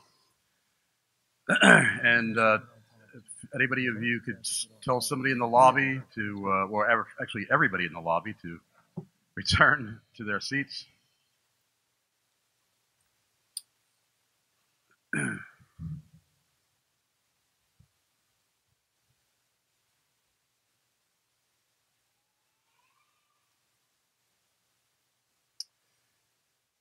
Everybody in the lobby, you're being summoned back into the auditorium. We are going to begin the final half of the debate very shortly, in a matter of seconds. uh, I committed a- an egregious error in the beginning of tonight's event, not theologically, but I failed to thank somebody who is an integral part of my Iron Sharpens Iron radio program, uh, Mike Gallagher of Thrivent Financial, who has a booth out there in the lobby. Uh, it's amazing that I forgot to thank him when he actually is here with a booth in the lobby. But uh, Mike Gallagher was the very first local Christian businessman owner who believed in what I am doing with Iron Sharpens Iron Radio.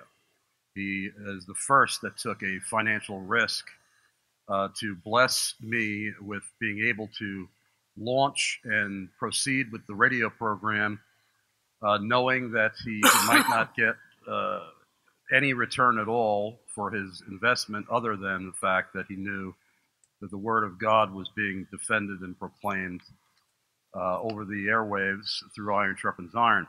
And so I am very uh, indebted to Mike Gallagher and Thrivent Financial for their generosity and graciousness and for, uh, as I said, believing in Iron Sharpens Iron when it was just in its infancy here in Carlisle, Pennsylvania. Of course, as I said, I've been broadcasting since 2006 from New York, but I was a new kid in town here, and Mike Gallagher believed in me and what I'm doing, and I thank him again for his support. I also wanted to thank uh, SolidRockRemodeling.com, who is also in the lobby, and they have been a blessing to Iron Sharpens Iron as well. But now I feel much better and can enjoy the rest of the debate without that looming over my my head. Thank you very much. Okay, with that, we're going to start our second half of the debate, which is going to begin with a second rebuttal by Robert Sungenis and then Tony, and then we'll move into the first and second cross examination. Uh, the rebuttal time, second rebuttal time, will be 10 minutes for each participant. Robert Stern.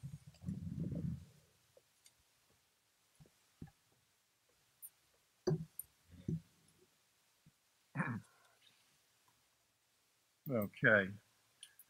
I want to refresh your memory on some things that Tony said, starting from the beginning of his uh, rebuttal. Uh, Tony said the burden is with me, but I gave the theological reason for the Immaculate Conception. Tony has not given us any reason how Jesus could be sinless coming from a sinful Mary. I would like to hear that before the end of the debate. The burden is on Tony to prove to us that the doctrine of sola scriptura is true when the Bible itself does never says it is the only authority. The burden is on Tony to give us why he doesn't believe Acts 15 is the paradigm set up by the New Testament for how the church is going to conduct itself. Tony also said the syllogism that he used was from Romans 3:20 that all men have sinned and come short of the glory of God.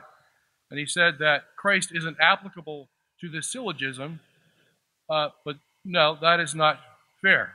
Okay? Tony did not give the exception ahead of time. Uh, he made a syllogism. He said that all men were sinners, and then developed that syllogism to conclude that Mary was a sinner. But he forgot to mention that Christ was his exception. And if there are exceptions to the syllogism, then the syllogism is invalid. Relying on Christ's divinity is not going to help because Christ had two natures one was human, one was divine. The whole question here is how does Christ's human nature avoid sin?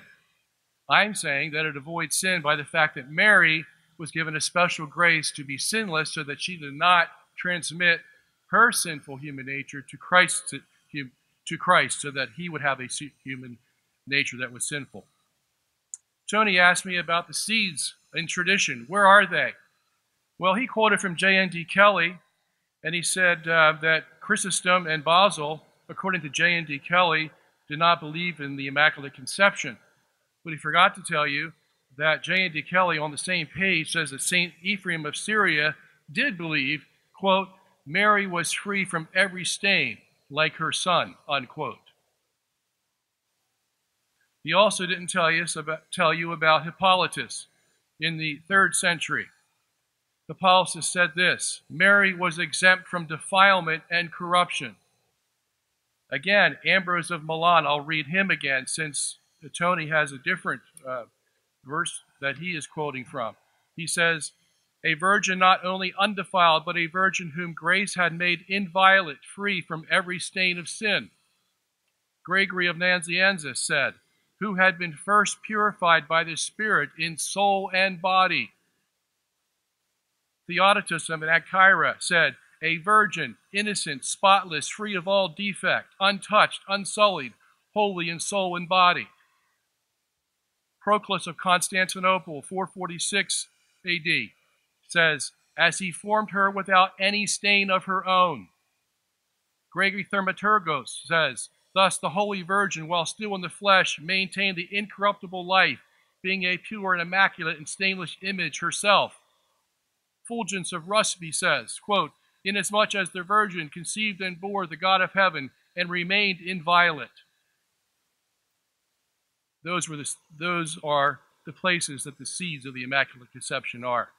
Tony talked about Romans 3.23. He says it was dangerous for me to say that death was transmitted to Christ from Mary because Paul says for the wages of sin is death. And if we say that Christ died because of that, then sin is the cause of that death. No, that doesn't tie together at all.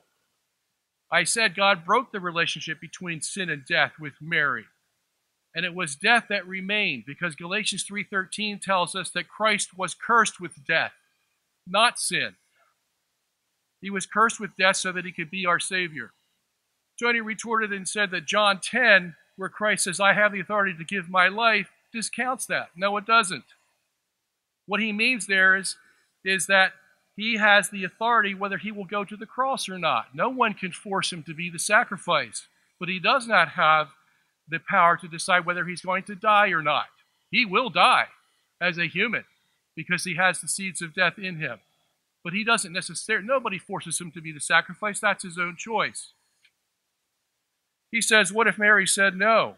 And then he talked about the potter and the clay as if God forces Mary to say yes, as if he has so much power over Mary. And this is the typical Calvinist position that God is the potter in the sense he can force Mary to say yes. No, that is false. Mary has a free will, and if she said no, we would have no Savior. That is a fact. He talked about 2 Timothy 3.16, and he says, this is the only literature that it's theopneustos. So what? It doesn't say it's there that Scripture is the only authority. Of course, it's Theopneustos. It's God inspired. I hope it is, because I go to it every day for authoritative truth. But that very Bible, that very verse, never says that the scripture is the only authority. That's what Tony has to prove, not that it's Theopneustos. The Bible, as I said, goes the other way. It's 2 Thessalonians 2.15 that says that oral tradition is also on the same level of, of authority as the scripture itself. And then he talked about Acts 15. He says, let's look at who had the last say in Acts 15. It's James because he says, I judge. And then he goes on and he gives recommendations, pastoral recommendations that they should not eat this or eat that and abstain from fornication. And this is a total misrepresentation of Acts 15. Total misrepresentation. Peter was the one who stood up singly and alone and said, There will be no more circumcision. Case closed. James then gets up and says, I agree with James. And here, as pastor of Jerusalem, I'm going to give you these stipulations to follow along with the major doctrinal decision that Peter just gave you about circumcision. And then he gives his pastoral decisions. So, this whole idea that Acts 15, just because James has the last say, means he's an authority, is a joke. Acts 15 puts Peter in charge and he makes a decision on circumcision, no one else. In Matthew 16, verse 19, he, uh, Tony says the debate is not on the papacy. Well, yes, in one way it's not on the papacy, but indirectly it is. Because it's the Pope in 1854 that decided that the doctrine of the Immaculate Conception was true and revealed by God. So, in a sense, it is based on the papacy, because that's where we get our authority from. He said that uh, Matthew 16, 19 was no big deal because Matthew 18 also gives the apostles the power. But Matthew 16, verse 19, is the only verse that gives the keys of the kingdom to Peter. The apostles did not have the keys of the kingdom. So Peter was in charge of the apostles. Why else would Peter get up in front of all the apostles and bishops in Acts 15 and declare a doctrine in front of everybody, and then everybody says, Peter has spoken. The matter is solved. And then James uh, comes through with his pastoral recommendations. He says the Trinity is mentioned in Matthew 28 19. I didn't disagree with that. I said the complete doctrine of the Trinity about substance and co equality and glory and all the other things that these councils define for us, they're not told to us in Scripture. We just have Father, Son, and Holy Spirit, so we know there are three involved, but we don't know exactly what the relationship is because Scripture doesn't give it to us. And then Tony says, well, when we talk about the two wills of Christ, he says uh, two natures of Christ, and I didn't say natures, I said two wills. Okay? I also said two natures, but he sounds, he quotes a verse of Scripture and says, it sounds like two natures to me. Well, that's exactly the problem. We don't need any more, it sounds like to me, because that's been the confusion since the church has started, with people saying, well, it sounds good to me, it sounds good to me, and he'll make a denomination and he'll make a denomination because it sounds good to them. But we need a church to make the final decision. Tony says about the uh, doctrine of Immaculate Conception, all this confusion is because it's not true. Really? How about the canon discussion? All those discussions they had throughout the centuries about what the canon was, the canon of Scripture. Does that mean the confusion over what the canon was means that it's not true? Of course not. It just means they had to come to a final realization of what the canon was. And they decided that the Council of Trent in 1563, and there was no more discussion. Tony says that I said that we don't have to pay attention to the fathers. I didn't say that at all. I said there were five fathers who had some question or doubt about the Immaculate Conception. And I just read from you all the fathers that believed in the Immaculate Conception. So I'm not, I didn't say we didn't pay attention to the fathers. I just said that if they had doubts, the church doesn't matter. They can have those doubts. And one more point. He said that, um, that they would be considered heretics. No, they would not be considered heretics because the dogma was not defined until 1854. anyone could have discussion prior to that. Thank you. Thank you, Dr. Sungenis. And with Tony Costa's beginning his uh, begins his second rebuttal right now. Thank you again, Robert, for uh, that uh, exchange and uh, rebuttal. Now, Robert brought up the issue of uh, the syllogism that I brought up again, and uh, I did respond to the, the question about Christ and relationship to Mary. Um, the syllogism that I stated is no different than what Paul says in Romans 3.23. All have sinned and come short of the glory of God. Now, does that mean that Paul commits a logical fallacy because he doesn't know that Jesus uh, was sinless? Well, of course not. It's a given that the scriptures are very clear that Jesus Christ is the only sinless human being. And the reason why that syllogism can apply to us is because we are all sons and daughters of Adam, and therefore we are all sinners. And that would also include Mary.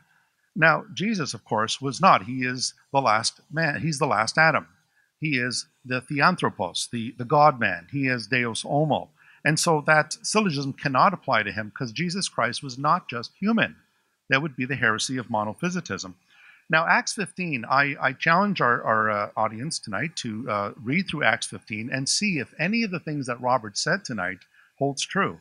Uh, read Acts 15 carefully and ask yourself do we see a papacy here? Does Peter have the final word? Or does Luke keep saying that uh, we, the disciples, the apostles, agreed and, and we agreed? And then James says, I judge, and it seems good to the Holy Spirit. And so the apostles uh, are in agreement together, and the Holy Spirit testifies to that the idea that there is a pope running running the show is not present in there. Robert is simply reading uh, these ideas into the uh, scriptures.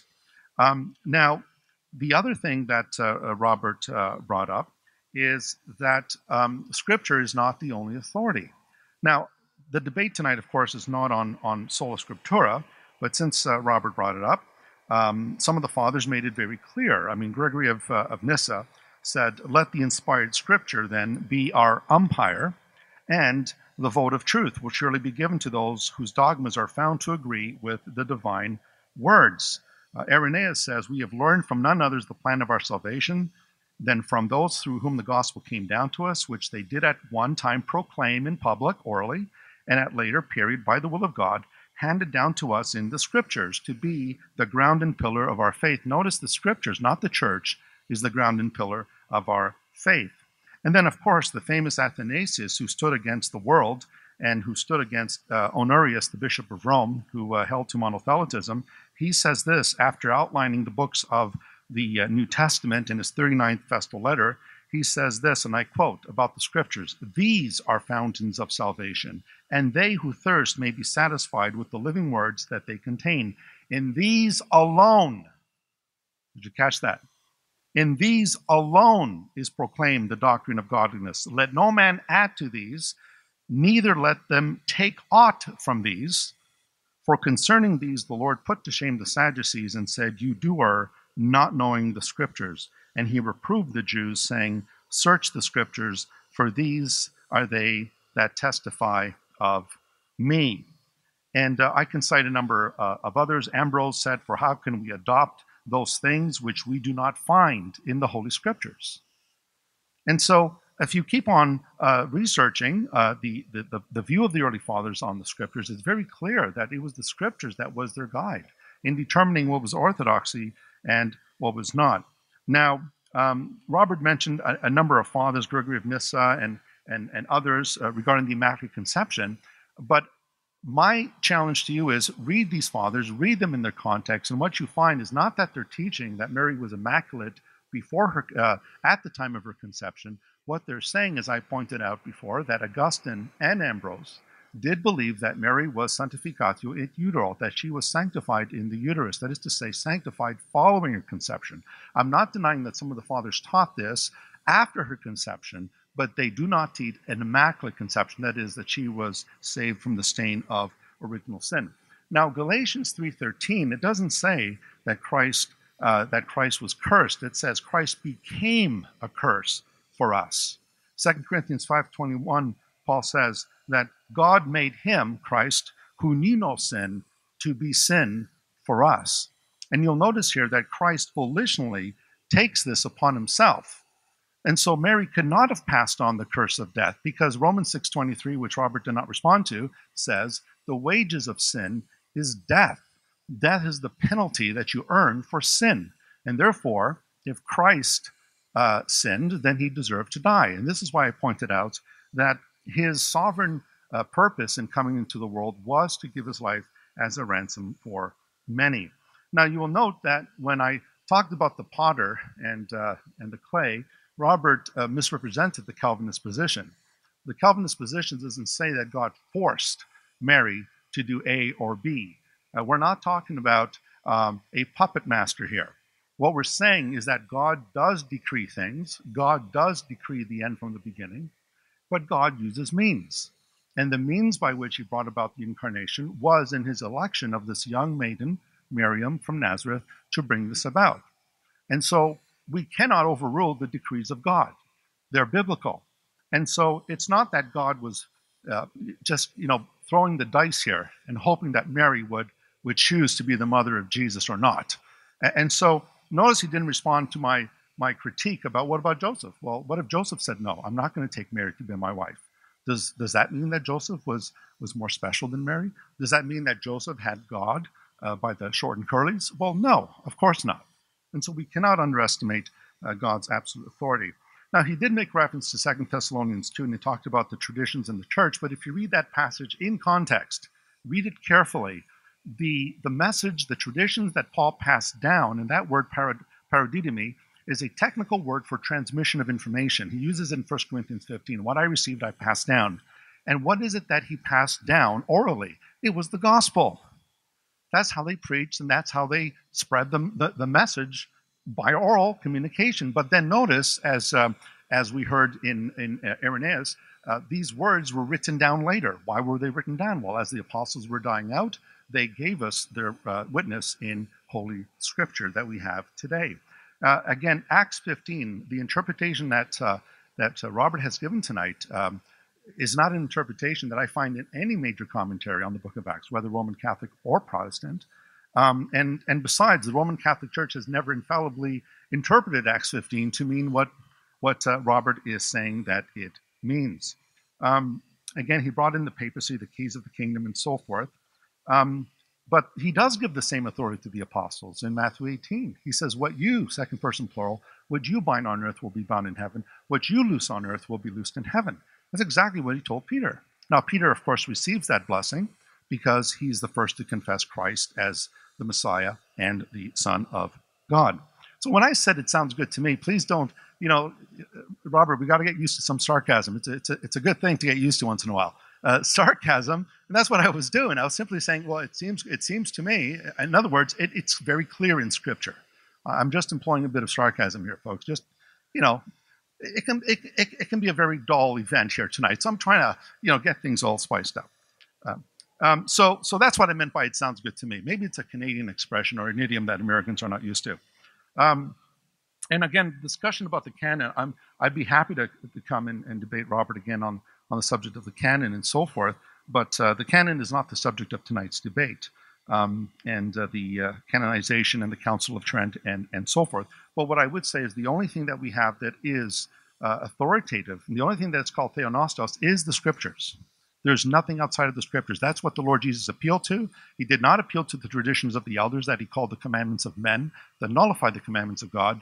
He always pointed to the scriptures. It is written, Have you not read what God has said to you? And so uh, I think that in order to establish what we're discussing here tonight, the Immaculate Conception, our first place is the Scriptures. And then following that, see what the early Christians, how did they interpret these passages? And I don't think that they show that Mary was immaculately conceived. Thank you. Thank you, Tony. And if anybody was uh, concerned about this debate being dull, that's going to end in about 15 seconds as we do our cross examination and it's going to be uh, Dr. Sungenis's uh, opportunity to cross-examine Tony Costa for 15 minutes. He's going to go first, and then we'll reverse it, and Tony would then be able to question Dr. Sungenis for 15 minutes. So, are you guys ready? Yeah. Thank you. What we're going to try to do is um, limit Dr. Sungenis's question to one minute and Tony Costa's answer to one minute, so as not to um, go on and on and on and and waste the other person's time. So we're going to try to keep that loosely to one minute each. If I see that it's going past that, I'll say, okay, let's go to the next question. So, uh, are you ready, Robert? yes. Okay. So you ready, Tony? Yes. Okay. And let the time begin.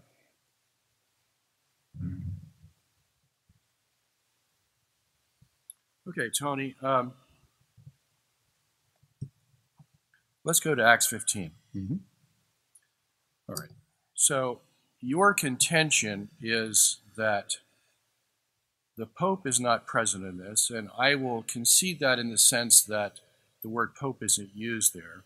But we do have Peter, after much discussion in verse 7 between the apostles and the bishops and all that are involved, Peter gets up in verse 10 and says his speech about the fact that God has taught him earlier that there's no distinction between Jews and Gentiles, that um, the Gentiles are to be burdened with nothing else but to believe in, the, in faith by the grace of God. And so, why do we want to put a burden on these Gentiles to have them circumcised? And then it says the whole room was silent, and and I think that's because the doctrine was established. And then St. James gets up and says that I agree with Peter, and I judge that blah blah blah blah blah, and they give pastoral recommendations as to what the Gentiles should do in order to um, coincide with what Peter has just decided about the fact that there won't be any more circumcision. So please tell us how you see that as not a paradigm for the church in which Peter is the leader, gives the doctrinal decision for the church on something as important as circumcision, and that St. James uh, plays a secondary role in giving pastoral recommendations for the churches. Please tell us how it is that you don't see this as a paradigm for leadership in the church. Well, first of all, uh, nowhere in Acts 15 does it say anything about Peter being the leader. Um, the pronouns uh, throughout the book of Acts are plural. Uh, they uh, use words like uh, we should not trouble the Gentiles who turn to God and so forth. And the reason why the assembly falls silent in verse 12 is because uh, they listened to Barnabas, Barnabas and Paul as they related what signs God had done among the Gentiles. And so I don't see here that uh, Peter has the last word on the issue. James judges, um, and the Holy Spirit confirms the, the judgment that the church makes collectively.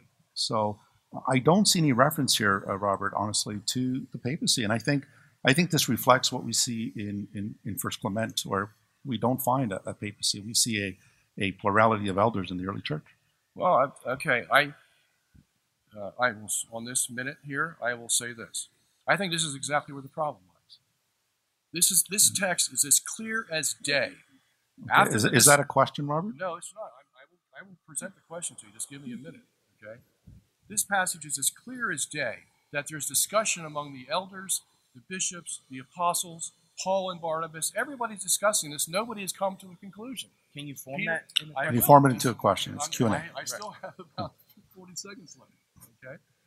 So um, uh, Peter stands up, gives the declaration based on what God has told him, and then the whole crowd is silent because he has just declared this dogma.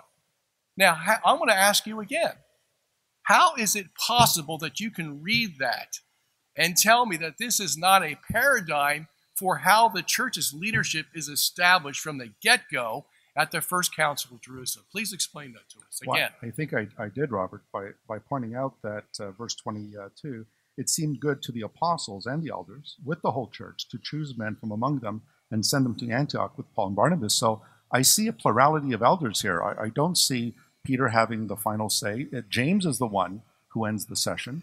And what I see here is a, a collective uh, concert here among the elders of the early church, which is exactly what we see, for instance, in First Clement. And I don't see any um, commentaries on, on, on this subject. Uh, commentaries that I've seen, both Roman Catholic and Protestant, seem to, to agree with my argument. All right, let's try it again. Okay, you your um, contention is that Peter's not said to be the leader. Mhm. That is beside the point because he gets up He makes the declaration about circumcision. No one else at this council makes any statement about circumcision whatsoever. He makes the final decision on circumcision, and that is why the council was convened. That is why all these bishops, Bar- Paul, Barnabas, and, and everyone else, even the Pharisees are there, they're all discussing this because everybody's in consternation as to whether the Gentiles should be circumcised or not. Okay? So Peter gets up and says, No, they shall not be circumcised. End of discussion. Okay, so what's We your should- oh, question? Oh, say, We- yeah, we should- we so tell me again why you think Peter is not the leader of this council that makes the decision on circumcision. This is going to be the last response to that because I think we we've That's exhausted.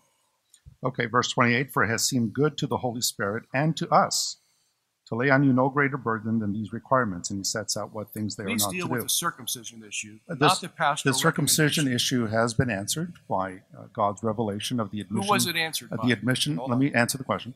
It's been answered by the admission of the Gentiles into the church. They quote from the prophet Amos to show that God was going to call the people for his name from among the Gentiles. Uh, and so uh, this was not something that Peter discovered by himself. Peter did receive the vision in Acts 10 and 11. Um, but he was not the only one that received this. The Apostle Paul was told by the risen Christ to go to the, the Gentiles and to bring them in.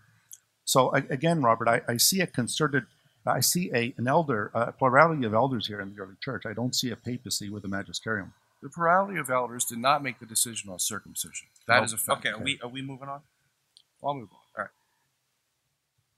All right. All right. Um, Tony, please tell us how Christ became a sinless sacrifice if he was conceived in the womb of Mary, who was a sinner. He was conceived by the Holy Spirit. He did not have a physical father, so he was not conceived in the same way that we are. And um, one of the fathers of the church, I'm not uh, sure if it's Ambrose or Augustine, uh, answered that question by saying that just as light remains pure, when the light shines through a, a dirty pane glass, uh, the, the, the dirt on the glass does not uh, corrupt this, this light. And so, even though Jesus was born of a mother who was a- sinner, he was set apart. He was uh, conceived by the Holy Spirit. He did not have a human father, and therefore the Adamic sin could not pass through his veins. Well, I would su- submit to you that that's false. And the reason it's false is because he got his human nature from Mary. Uh, Joseph has nothing to do with this. I didn't say I didn't say Joseph did. I said he was Let's conceived. direct the question towards Yes. him. I will. Okay, I'm, I, I'm going to You get turned I'm going to answer, don't worry. respond to what he says. This is this is a cross examination here. Okay, Yes. this is I get to respond to what he says, and I will formulate a question. All right. So uh, the fact that Joseph is the father has nothing to do with. I mean, Joseph was the foster father has nothing to do with. it. The fact is, Mary was human. You're saying she was a sinner.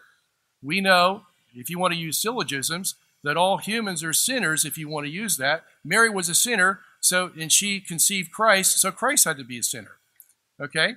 But Christ, Tell me, tell me how that could not happen. because Christ's conception was different. It was not like our conception. Just because Our it's different, that's not well, let me answer. the give, question. Give him a second. Our conception is between our fathers and our mothers, just like Mary's was. What I'm saying is that the conception of Christ was miraculous, was by the Holy Spirit, and it was that conception by the Holy Spirit that maintained his holiness. How do you know that?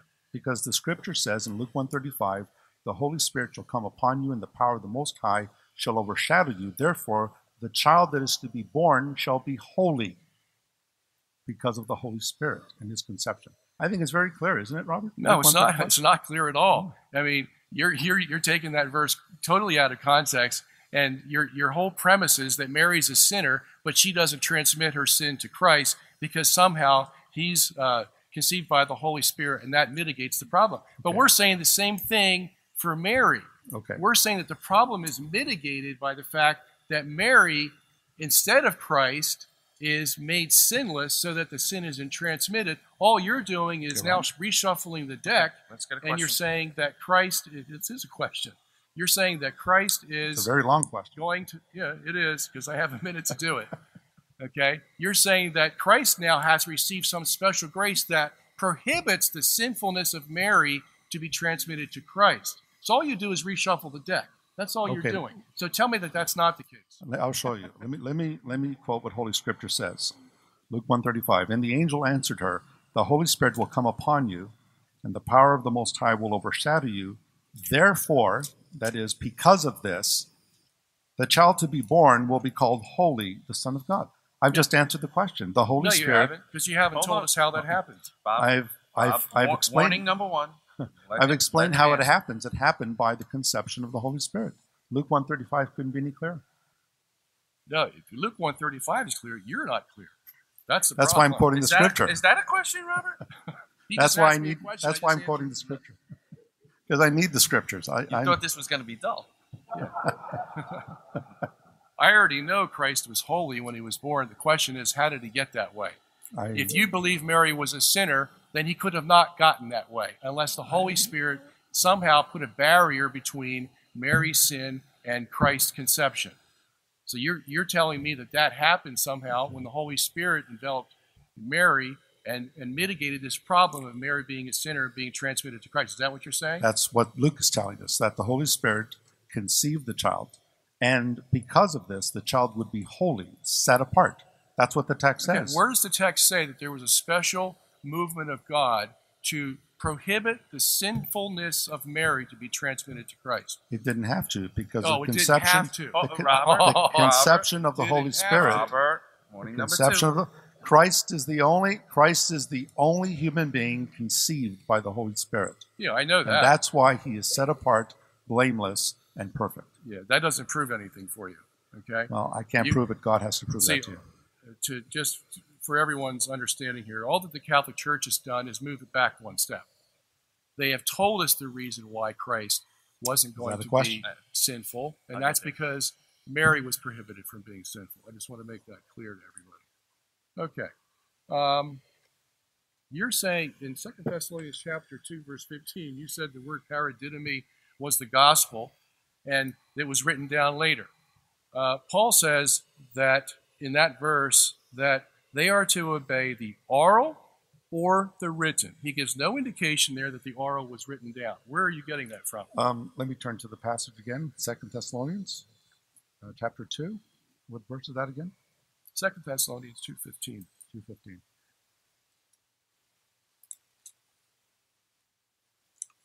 Okay, let me just read it out. Second Thessalonians two, verse fifteen.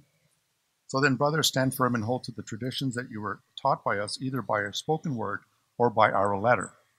So the letter, I presume, to be Paul's letter, which is inspired scripture, according to Second Peter three sixteen. Yeah. Where does, note- where does Paul say that the oral was written down?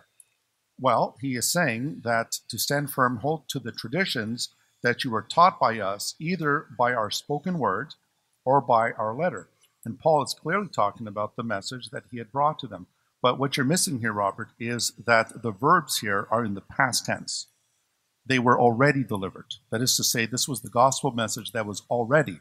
And so the verb there is not an ongoing verb, meaning ongoing action into the present, which would need to be the case if Rome's position was correct. What it says there is that what Paul has given to them has already been given either by word or written form. What did Paul proclaim to them? He proclaimed the gospel. So what? Okay. The fact is, Paul always preaches the gospel. The question is, in what method did he preach it to them? He says, I preached it to you orally and I wrote it to you. I'm Okay. asking you again, where does it say in the passage that Paul said whatever he said orally, whether it's past tense, doesn't make any difference? Of course it's past tense. He already gave those oral teachings to him. Where does it say that the oral teachings were put in written form? He is saying for them to obey what he had given to them, either in oral declaration or in written form. The question is, what was that oral declaration? That oral declaration, as he's as he mentions elsewhere in First Thessalonians and Second Thessalonians, is the gospel. What else would Paul be declaring to them in oral form but the gospel? Yeah, I have no And would have to be given I said- orally before I- it's written. I, I will ask you again for the final time. Where does it say that the oral was put into the written? It doesn't say the oral was put Okay, into the written. thank you. What it says is Give that him a minute. what it says is that the message that Paul gave to them, they were to obey, whether it was oral, meaning they heard him preach to them, Right. or by letter that was given to them. This is apostolic preaching, which is inspired preaching. Okay, next question. Uh, you said that um, something Galatians 3.13. I didn't quite get it. How much time? do we have? We, we only got 10 seconds left. 10 seconds. All right, I'll concede the time. Time flies when we're having fun, isn't it? Okay. I am having fun. All right. Now, Tony is going to get to question Robert for 15 minutes, and I'm going to issue another warning. Let's keep the question. If you want to hold it to a minute, let's hold it to a minute. Let's not pontificate after that. No pun Let's intended. not. let's let's not um, uh, preach. Let's ask a question, answer a question. I'm from New York Apologetics. I'm gonna have to enforce this. All right. okay. So get ready. You can start now, Tony. Uh, okay, uh, Robert, um, does any inspired New Testament writer teach the dogma of the Immaculate Conception? You done? No. Number two, according to the book of Acts, which records Well, the wait a pre- minute, wait a minute. Let me Whoa, just. whoa, hold on a second. Stop it. Stop it. Stop it. I just thought of something. I just thought of something. I'm gonna give you a oh. special dispensation. All right, thank you, sir. All right. So are um, you responding to the first question? Yeah, I want to respond Okay. to the first question. I will say no in the specific sense, but I will say yes in the general sense in this way. For example, in Luke 128, um, uh, the angel visits Mary and says, Hail, full of grace. Okay. Uh, this is the Greek word kecharitomene, which is a um, past perfect participle. And what this is saying is that it's, it's like the Indians used to call their new, newly born child, you know, running deer because they saw a deer running when the child was born. Ten seconds. Wrap it up. 10 seconds, I just. You just use 50. All right. Well, the fact is, okay, sorry, I thought you wanted to make this a debate here, okay? I'm just, I, I, I thought I restarted my question or my answer, and I thought you were going to restart. Let's move to the next question. Tony, ask. Okay. Um, I was getting just getting ready to, to deal with Luke 128. Okay. Um, let me get to the second question. Um, so, so Robert, you- you've been spending a lot of time on the book of Acts, uh, particularly chapter 15.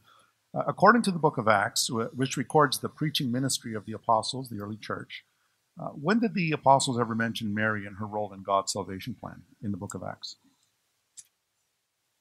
They don't, and that's irrelevant. Okay. So they, uh, in the book of Acts, you would agree that what they preached was the gospel of Jesus Christ's death, burial, and resurrection. Yeah, never said he, they didn't. Okay. So that was the gospel that they preached in the book of Acts. I don't know what your point is. Well, that they preached the good news of Jesus Christ's death, burial, resurrection Of course. to give salvation to the world. Yeah. Okay. Um, is there, um, wh- where is the clearest mention made of the Immaculate Conception, and what is the time period? Clearest Mention of the Immaculate Conception in the church church's history. What is the time period? The clearest is 1854 when the dogma was given. So for 1850 years, uh, God had not given a clear revelation about the status of Mary, um, who is believed to be uh, essential in the salvation of the world.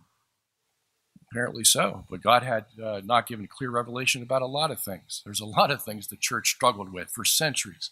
Uh, you could say the same thing about the Trinitarian and incarnation doctrines that I mentioned in my uh, response to you.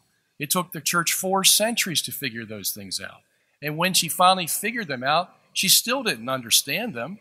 All she could tell you was what you couldn't say about the Trinity and the incarnation, not what they really were, because no man can really fathom what they are. But it took the church four centuries to make these doctrines. Okay, so we're going to say the same thing. When, when's the clearest uh, uh, uh, pronunciation for the doctrine of the Trinity? Well, it actually didn't come till the Council of Ephesus or the Council of Chalcedon, almost four centuries after Christ appeared on earth.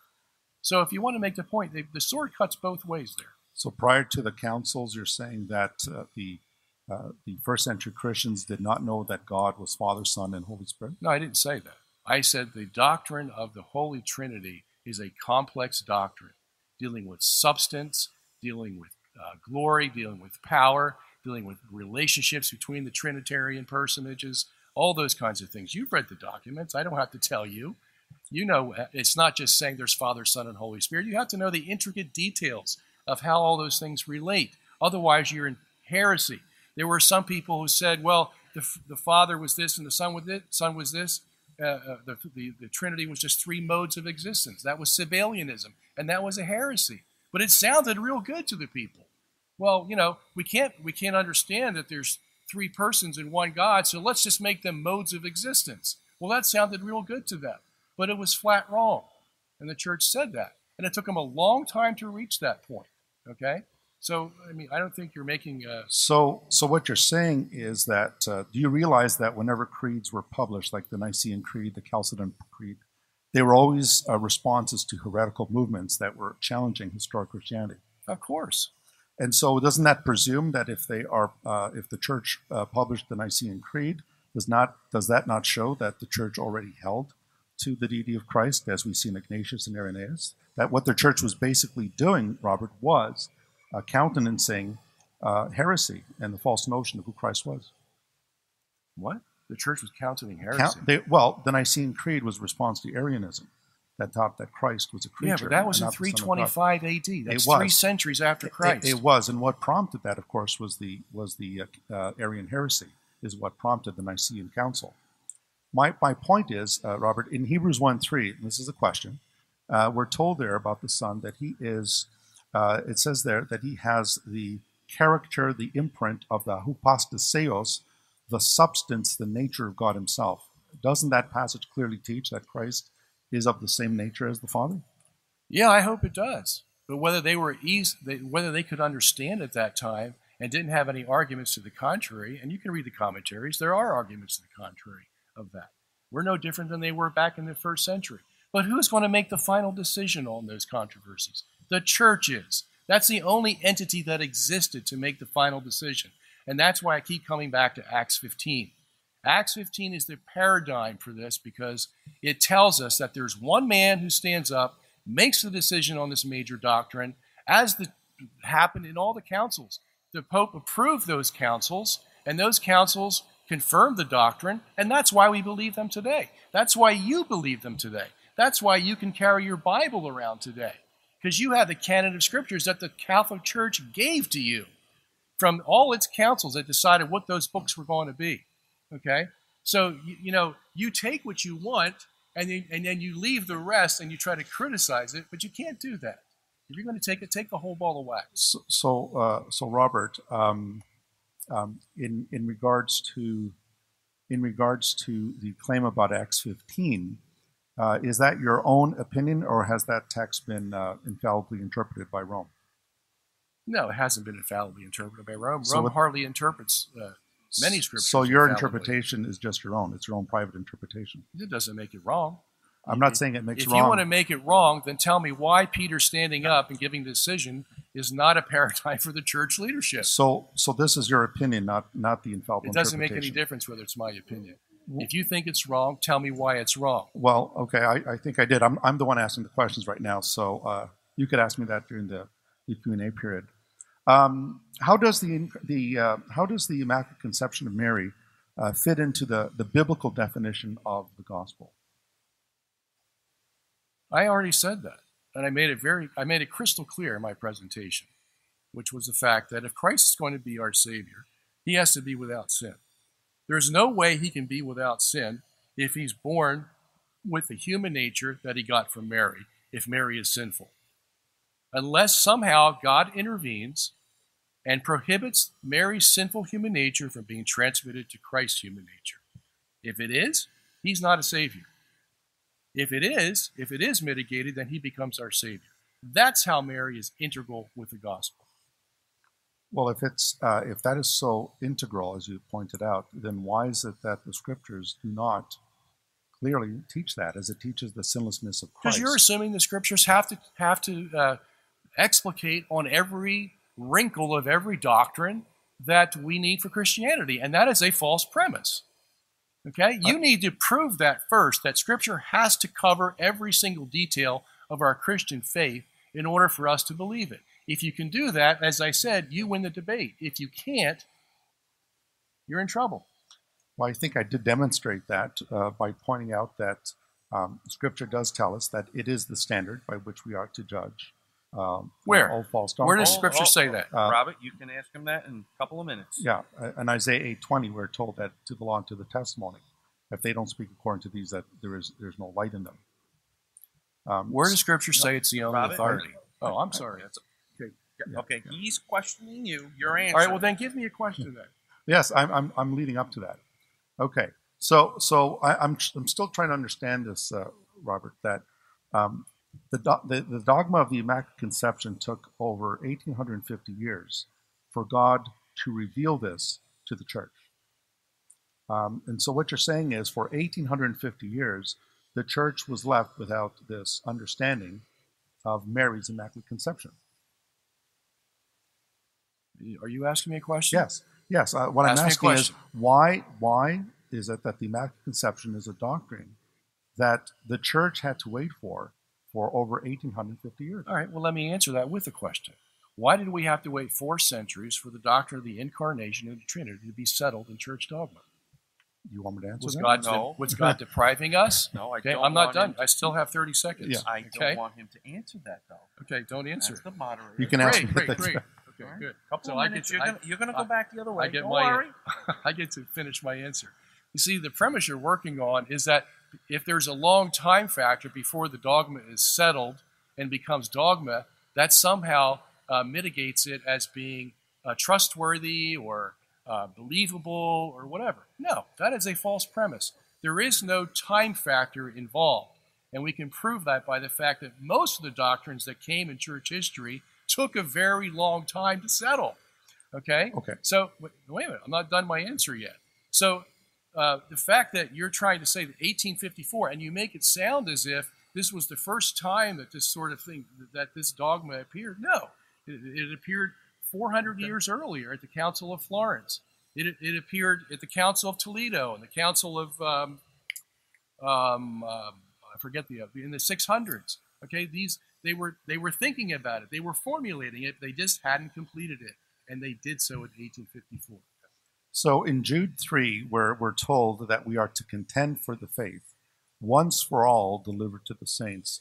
What is that faith that has been once for all delivered to the saints? the gospel in the scripture, in the tradition, what the Catholic Church calls apostolic tradition, and settled by the church as Acts 15 shows us the paradigm. That is what's settled. After that, then the church has to figure out all these other contingencies that are associated with the uh, with the, with Scripture. For example, Christ's identity, the Holy Spirit's identity, how they all work together, and all these other doctrines. So when Jude, uh, who is an inspired writer, when the Holy Spirit make, uh, has Jude write that the, the faith is hapax, which, which means a once for all act, that this faith, this positive faith, has been given to the church once for all. What you're saying is that the church still needs the tradition to continue. Well, that's, that's what Acts 15 tells us, you see. Because if it was in your definition of once for all, that means Peter should have had no problem. He should have been able to flip through the Bible and say, ah, here, circumcision ceases when Christ comes. There is no passage of scripture like that. So what he has to do is go back to the tradition of what God taught him in Acts chapter 10 and reason it out with his, uh, with his mind, guided by the Holy Spirit, and presents now this doctrine that circumcision will not be required of the Gentiles. You ask me that question, I'll answer it in the in the follow up. Um, so, so what you're saying, uh, Robert, is that this this ongoing tradition in the church, you would place that as revelation on the same level with the uh, with the Bible. This ongoing That's what St. revelation. Paul says in 2 Thessalonians chapter 2, verse 15. Well, he uses Which is the, why I told you. You going to let me yeah, answer? yeah. Okay. Go ahead. So that that's why I went back to that passage for you. I asked you where Paul said the oral tradition was eventually written down. You couldn't show me it. I, I told I stipulated to you that Paul speaks about two sources of revelation there: the oral revelation and the written revelation. That's plain as day. So if you're asking me, do I depend on the tradition? Yes, because that's what the Bible tells me to do. So, Robert, what is the difference between uh, Pope Pius IX claiming that he had new revelation from God in 1854 and the claim by the Mormon Church that Joseph Smith received uh, the Book of Mormon in 1830 and that this was a continuing revelation, as the Mormon Church also believes. What is the difference between those two views? The difference is he didn't use the word new. You just threw that in there. He didn't say this is new revelation from God. He said this is revealed by God. And I already pointed to a passage in Luke 128 which says Mary was full of grace. Well, how are we going to interpret that? Who, who has the authority to interpret that passage? The church does. And why do we know that? Because Acts 15 tells us that the church has the authority. Matthew 16 tells us the church has the authority to bind and loose on doctrine. And so when they look at Luke 128 and they see Mary full of grace, their interpretation is, well, that means Mary was full of grace in the past and to the present, which means she was immaculate. That's their interpretation, and they have the authority to do so. Okay. That was the first cross examination. We'll move into the second cross examination where uh, Robert Sungenis is going to question Tony Costa for 10 minutes. Are you ready? Yeah. Good. You're feeling good. You're doing well. Just keep it under wraps. okay. Ready? Go.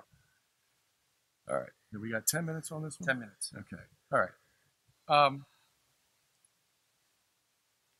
have you ever read my book, Not by Scripture Alone? Uh, no, I have not. Okay. I think you should read it. And the reason for that is this. Um, you mentioned quite a few fathers, and you quoted from their passages and made it sound like they believed in sola scriptura. Um, I would like to challenge you, and this is just off the cuff here. I would just like to challenge you because I covered each of those fathers that you quoted in my book, and the book's 600 pages long. I will give you a question. Hold on one second. Thank you. Okay. Um, so, um, if would, so here's the question to you: Would you read that after this debate? Would I read it? Uh, well, after reading all the other ten books I got to catch up on, I would. If you have if you have your book, I'll be more than happy to read it. Uh, would you accept a book if I uh, send it to your address? Absolutely. Great. Okay, so I will get. I'll your accept address. any freebies. Okay. All right. Now I wanted to deal. I'm with, good to receive one too. Will you be nice to me, and I'll give you one. All right. Let's go back to this uh, uh, issue of Galatians uh, or or Romans six uh, twenty three. All have sinned, come short of the glory of God, and your syllogism. Okay. Um, you said that Paul. Who was it? You said that Paul didn't make. Oh, you said, is Paul at fault for not uh, making Jesus an exception to this Romans six twenty three? Remember that? Yes. Okay. Here's the problem that, and I want to ask you to rectify it. Um, Paul didn't make a syllogism. You made the syllogism. Paul didn't make a syllogism that says all men are sinners. Mary was a man or a human, and therefore Mary is a sinner. Okay, he didn't make that syllogism. In a, would you agree with me that Paul is in a certain context in Romans chapter six regarding sin that's not dealing with Mary? What's the question? Can you repeat that? I said, would you agree with me that Romans 6 is a context that's dealing with sin and not dealing with Mary? It's dealing with sin in the context of its universality in the human race. Yes. Yeah. Do you believe there's exceptions to that? Yes, Jesus Christ. Okay. Fine. You believe that there are exceptions to people who um, will die. There are uh, exceptions. Uh, we have examples of that in Enoch, Genesis 5:24, Okay. and we also see that in 2 Kings 2 with the, the prophet Elijah. All right. So why does Paul say in 1 Corinthians 15, 22, as in Adam all die, as in Christ all shall be made alive? Paul there is dealing with the resurrection, and Okay. he is showing that those who have their federal uh, headship under Adam will die, and those who are under the federal headship of Jesus Christ will be made alive again. All right. Well, didn't Enoch and Elijah, weren't they under the federal headship of Adam? No, they were elect of God. They were chosen in Christ from the foundation of the world. Wait a minute. Okay. You're telling me that Enoch and Elijah were not under the federal headship of Adam?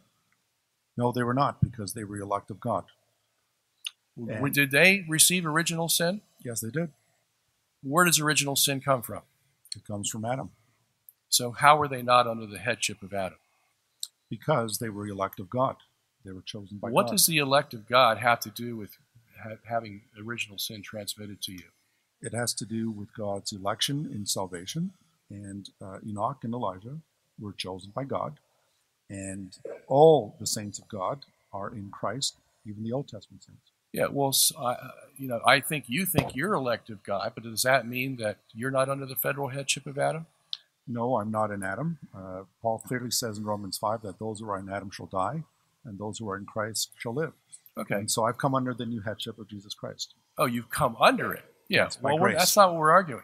We're arguing whether you were at one time under the federal headship Absolutely. of Adam. Okay, were. Enoch and Elijah at one time under the federal At one headship? time they were. Okay, well, yeah, you should have clarified that. All right, so if that's the case, if that's the case, why did you say that Enoch and Elijah uh, did not die because they were not under the federal headship of Adam?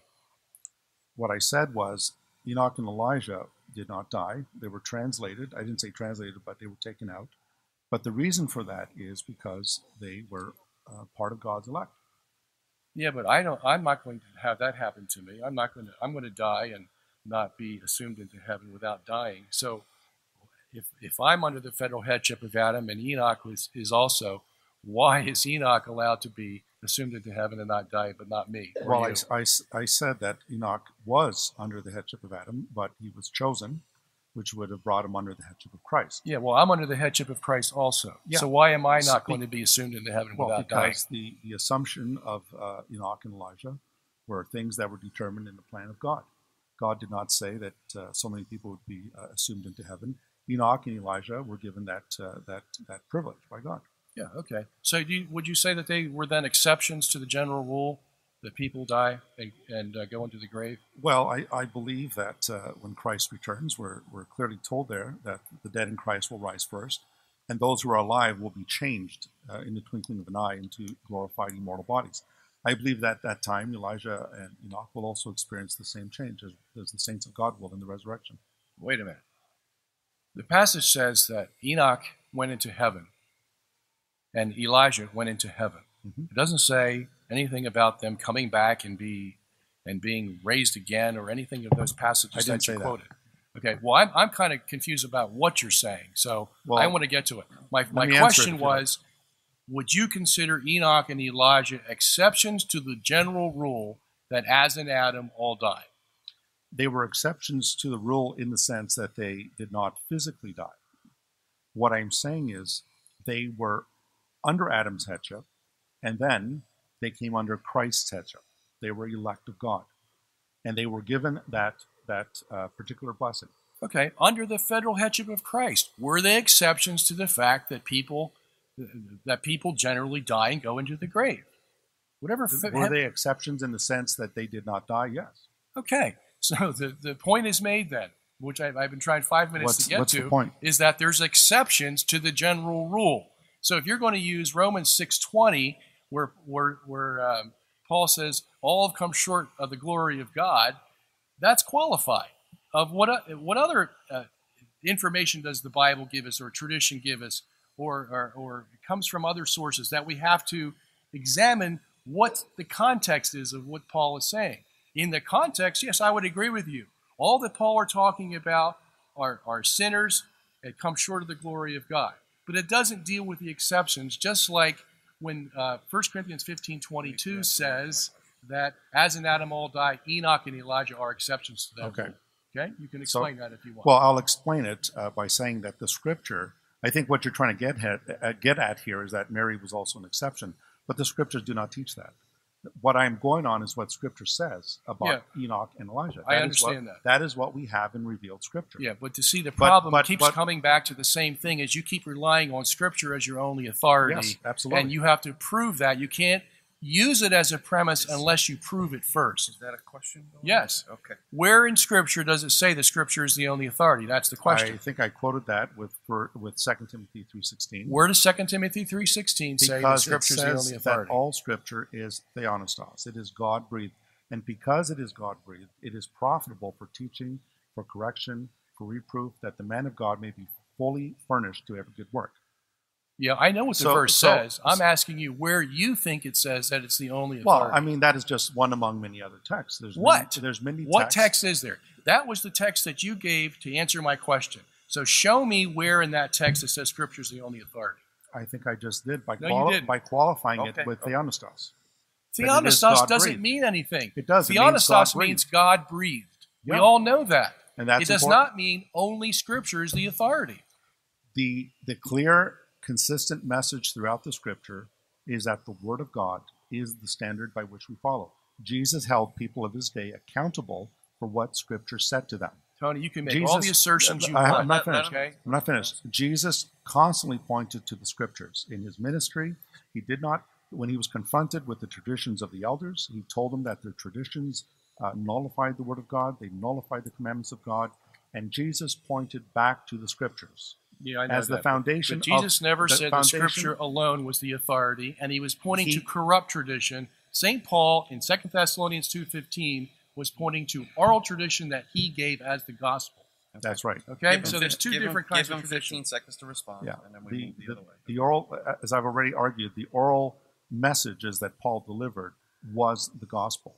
Yeah. The same message that has been maintained in the written scriptures.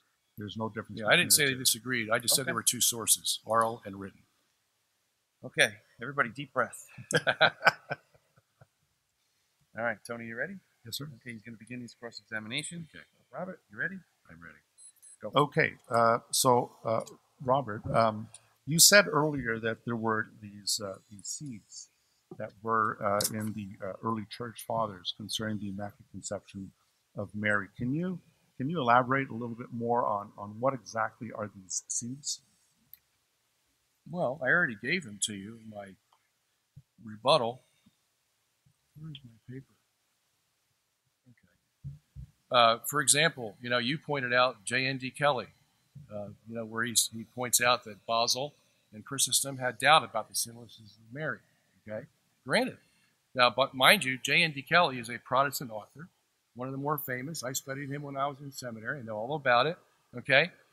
Um, so he points out two fathers that um, have trouble with the sinlessness of Mary, to be expected.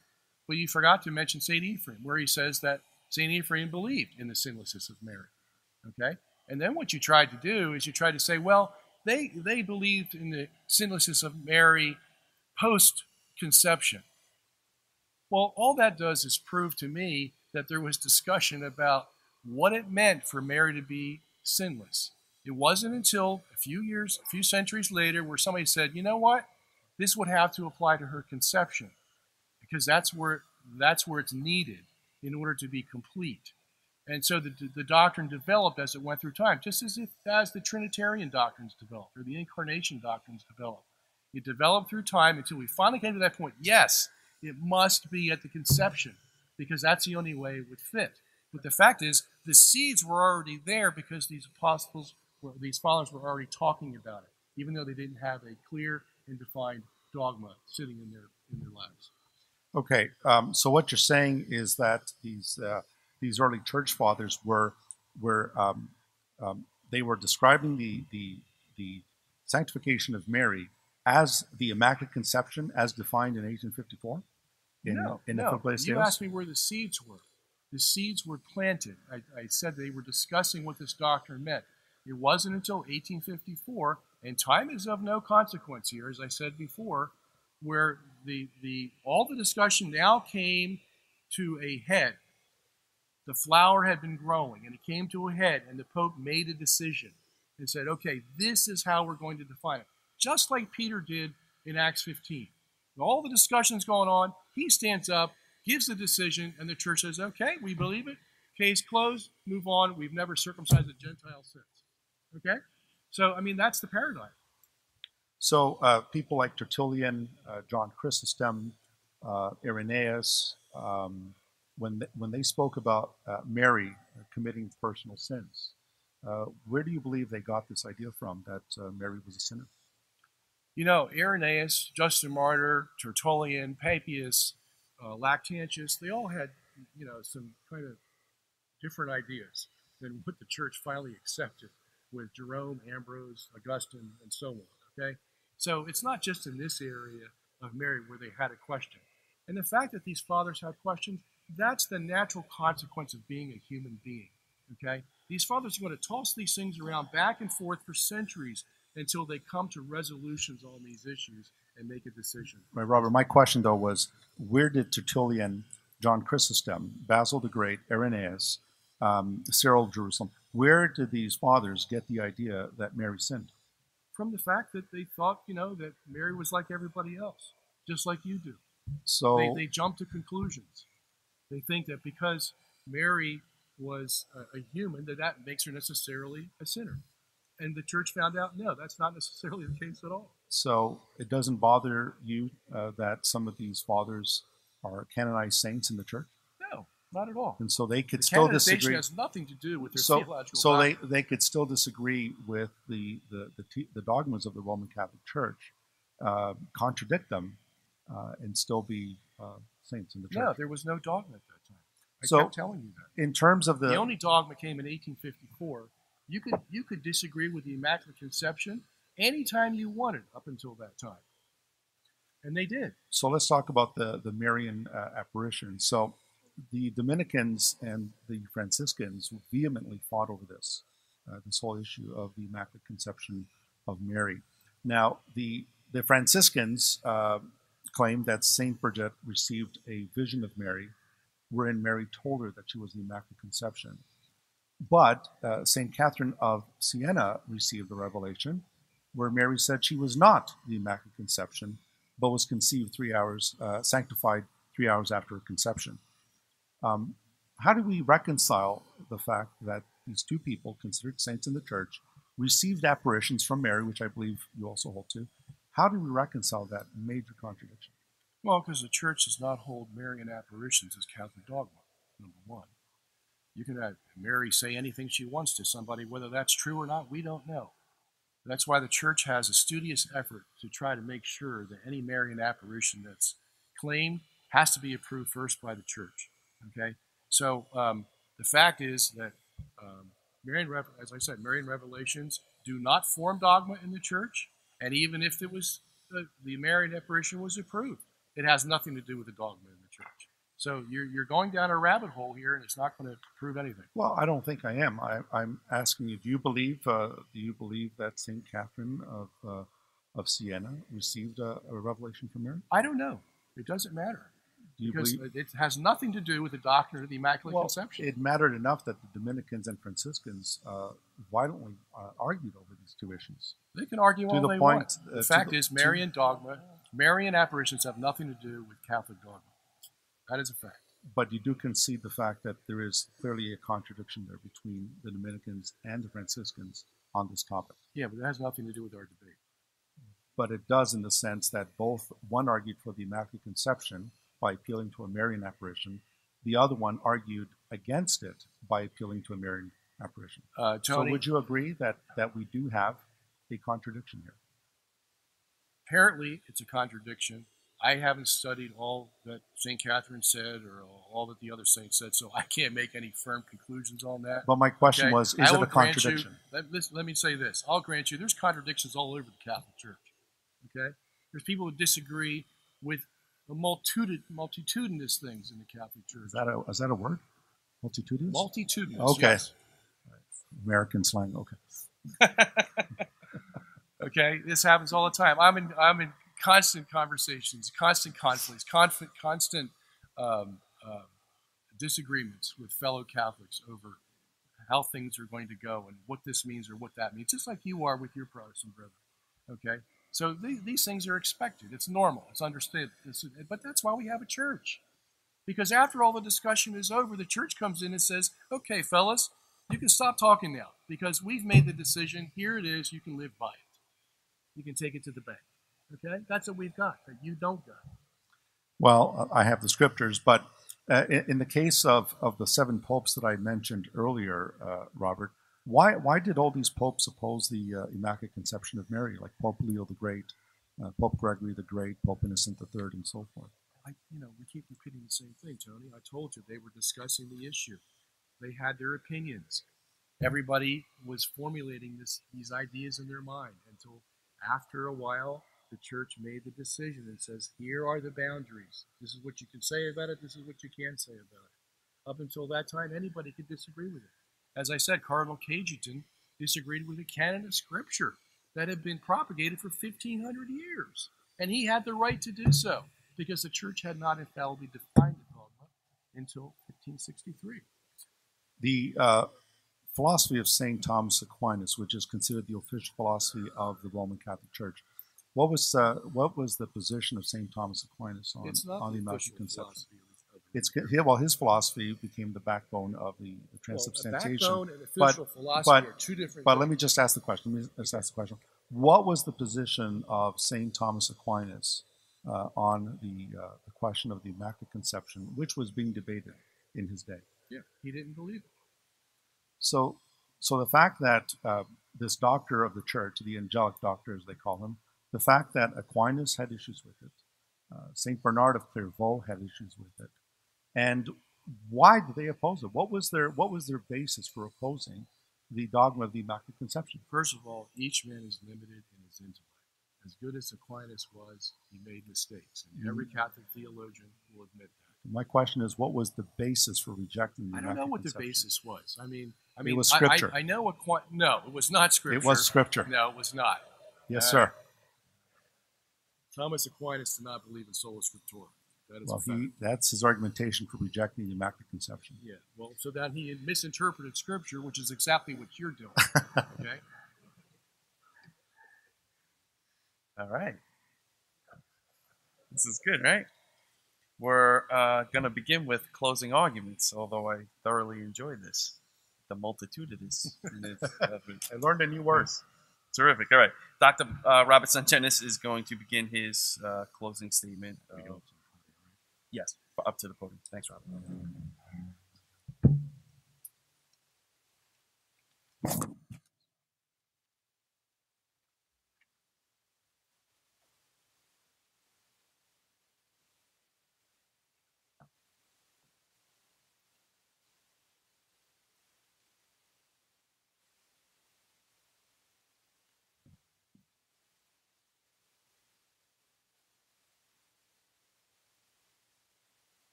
You didn't start the clock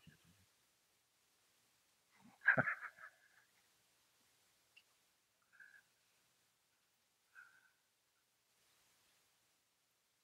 Okay.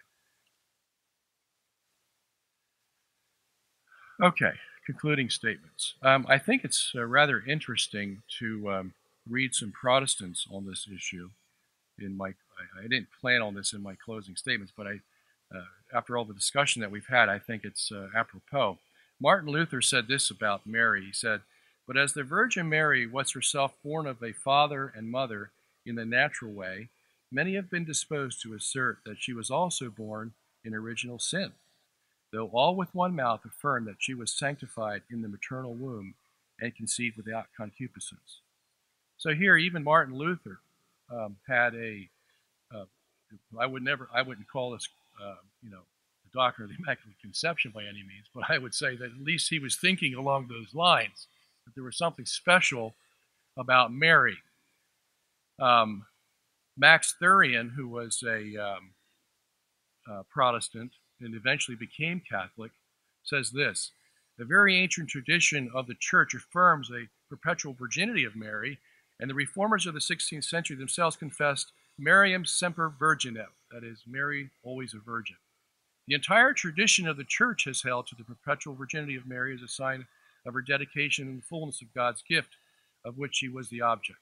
The reformers themselves respected this belief, for Calvin and other reformers accepted the traditional view that Mary had only one son, the Son of God, who had been to her the fullness of grace and joy. In regard to the Marian doctrine of the reformers, we have already seen how unanimous they are in all that concerns Mary's holiness and perpetual virginity. I think that's uh, interesting that this man, who was a Protestant when he wrote this, sums up the whole Reformed faith as believing that Mary was special in regards to her purity, her virginity. And um, I can go on more with those. Um, Thurian states, We can state to those who, on the one hand, would wish to speak of Mary as if she were sinful. Oh, I'm sorry, let me start from the beginning.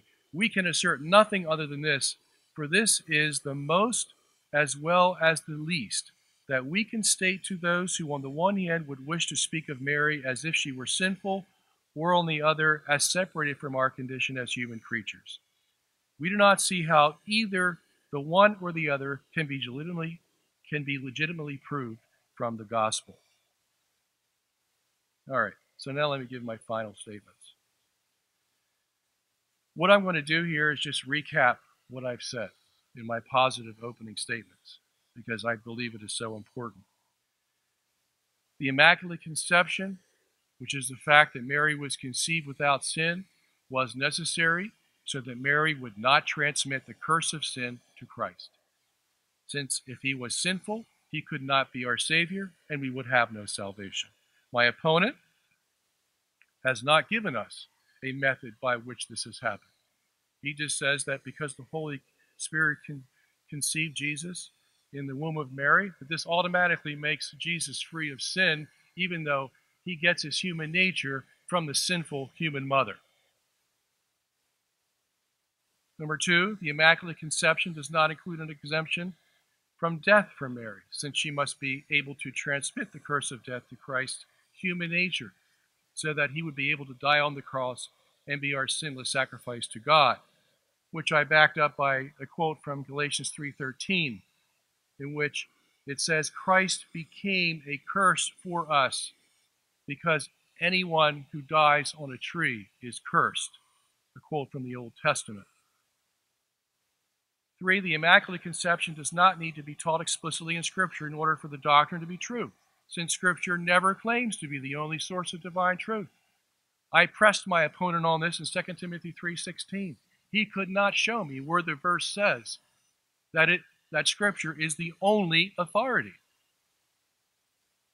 Number four, the Bible and church history show us that the church throughout her history made specific doctrines concerning things like circumcision, the Trinity, incarnation, and many other doctrines from merely implicit information in Scripture or information from tradition.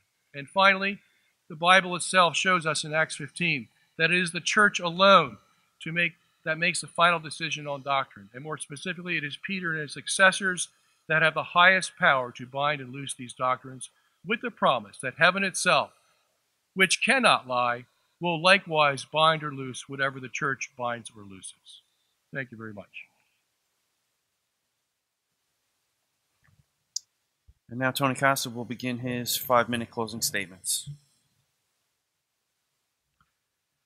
Well, ladies and gentlemen, I just want to thank you again for coming out tonight and for uh, giving up a uh, Friday evening to uh, come and listen uh, to uh, Robert and myself. I truly enjoyed uh, this time together, and I think Robert is feeling better. I think a miracle happened tonight.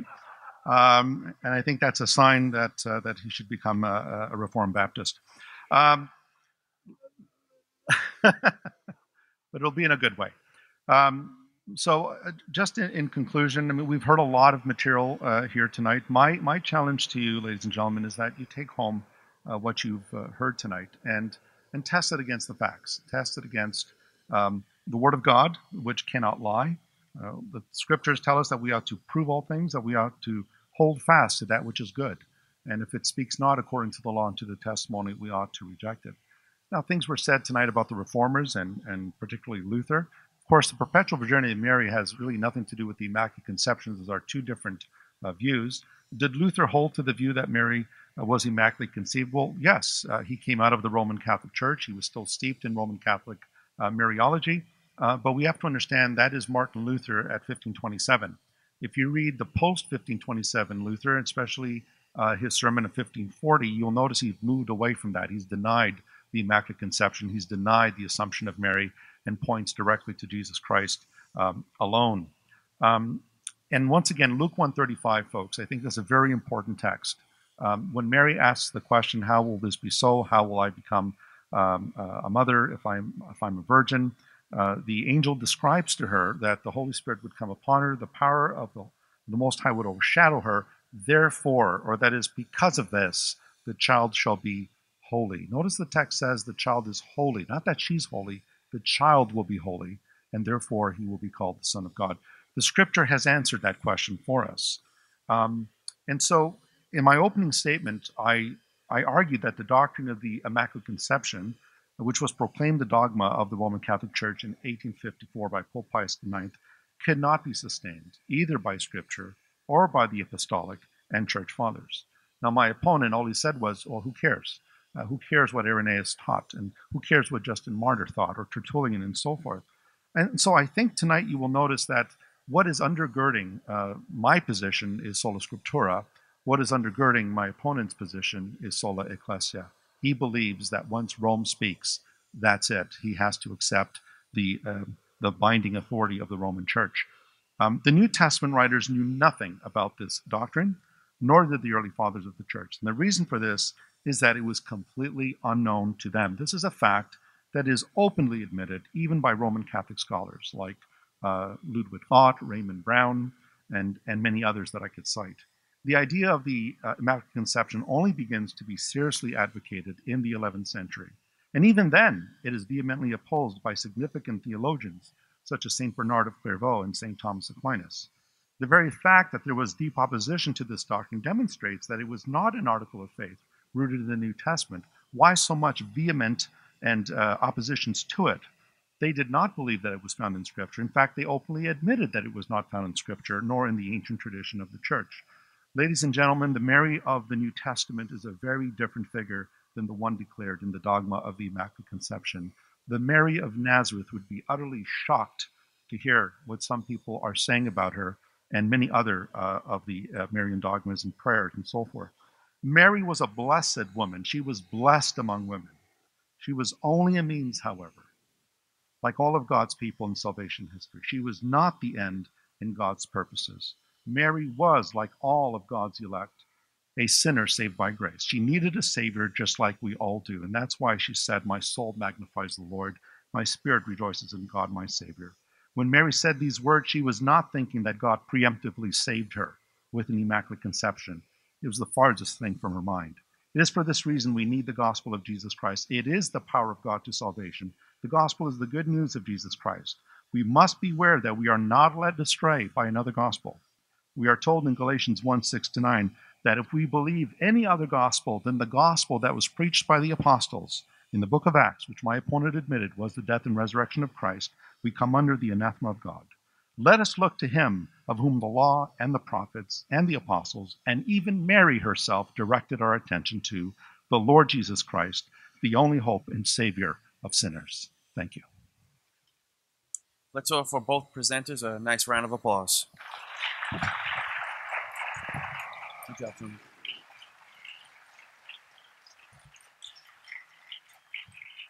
Okay, at this point in time, we're going to do our question and answers. Uh, if you haven't done so already, there's a basket up front here uh, to put your index cards in. We're also going to take an offering uh, for both of the presenters tonight. If, it, if God moved upon your heart or if you feel it's uh, something that you want to do, please also put that in the basket. If you're doing a check, you can make it payable to the Great Debate. Uh, both presenters put a lot of time, energy, and effort into this, and we just want to uh, bless them and thank them.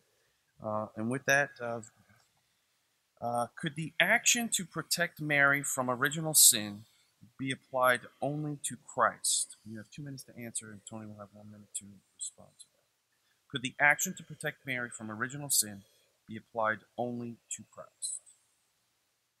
I don't quite understand that.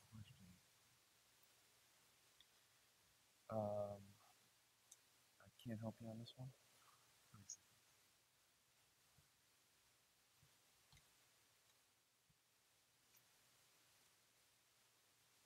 All right, I'll try to guess what this means. Again, it says, could the action to protect Mary from original sin be applied only to Christ?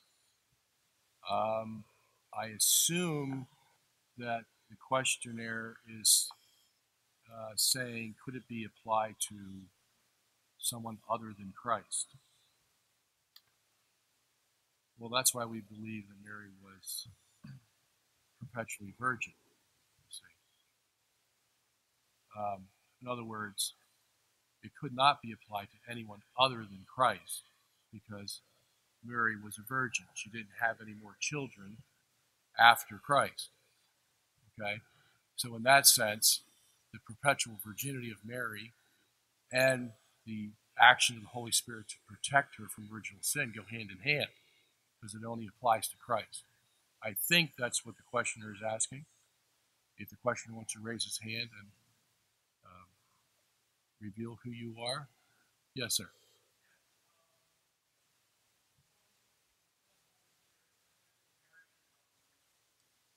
Yes.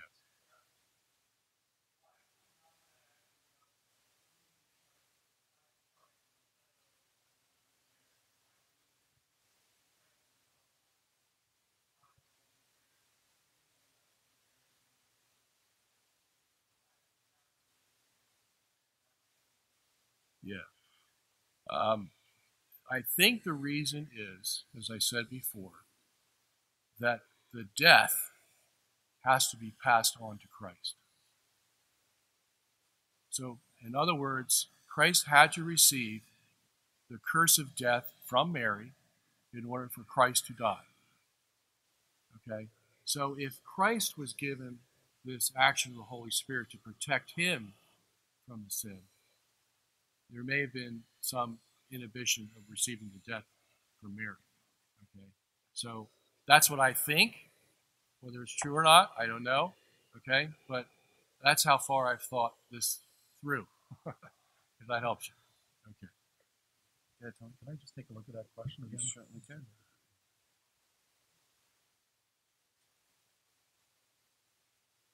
Um, yeah, I, I, the question does seem a little am- ambiguous. Uh, from original sin be applied only to Christ. I, I think what the question was saying is uh, uh, Robert's point was that God gave special protection to Mary so that um, Christ wouldn't be touched by sin. Could God have done that not to Mary but just to Christ? Oh, I see. Yes.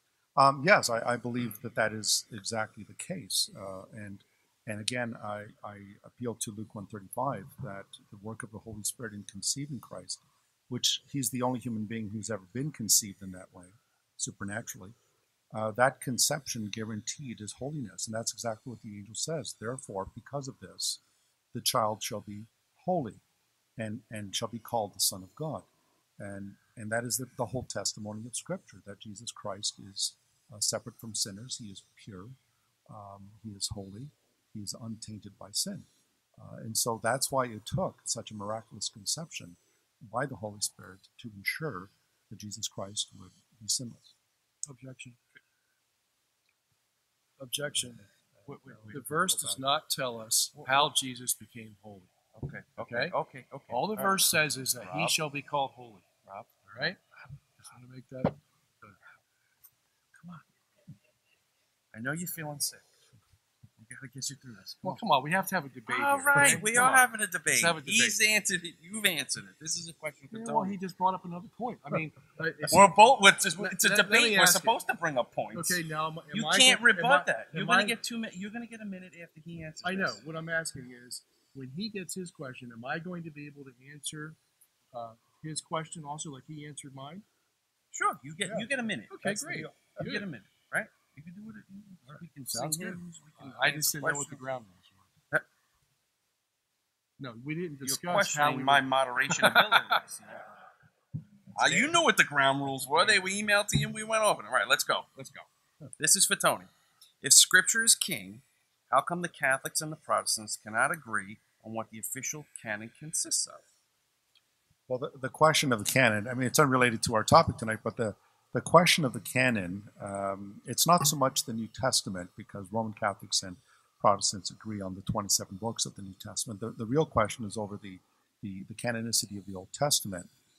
And the, the question has to do with the seven extra books that were added, uh, that were officially recognized at the Council of Trent as, as scripture.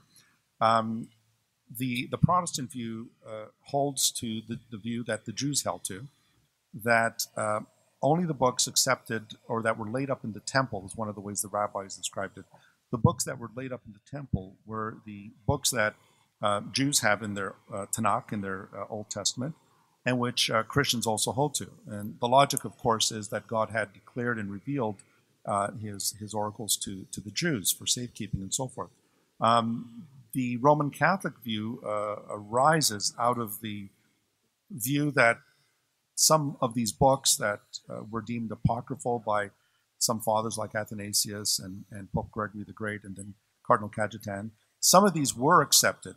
Uh, like people, Augustine, for instance, would accept these, and Jerome would not. Um, and so the canonicity of the Old Testament differs from that of the Protestant Jewish uh, canon. Um, and those books were officially recognized by the Roman Catholic Church in the, the Council of Trent.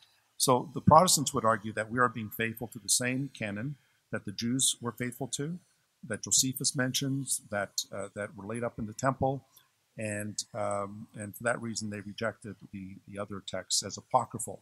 Uh, the Roman Catholic Church refers to them as deuterocanonical. You, you have a minute. Let it rip. All right. This issue of the canon is not just about books, it's about who has the authority. Okay, for example, R.C. Sproul, famous Reformed theologian, says we have an infallible collection. I mean, I'm sorry, we have a fallible collection of infallible books. That's as far as he can go. Why does he say that? Because he doesn't have a church that can decide which books belong in the Bible. That decision was solely given to the church that existed at the time that canon was formulated, and that's the Catholic Church.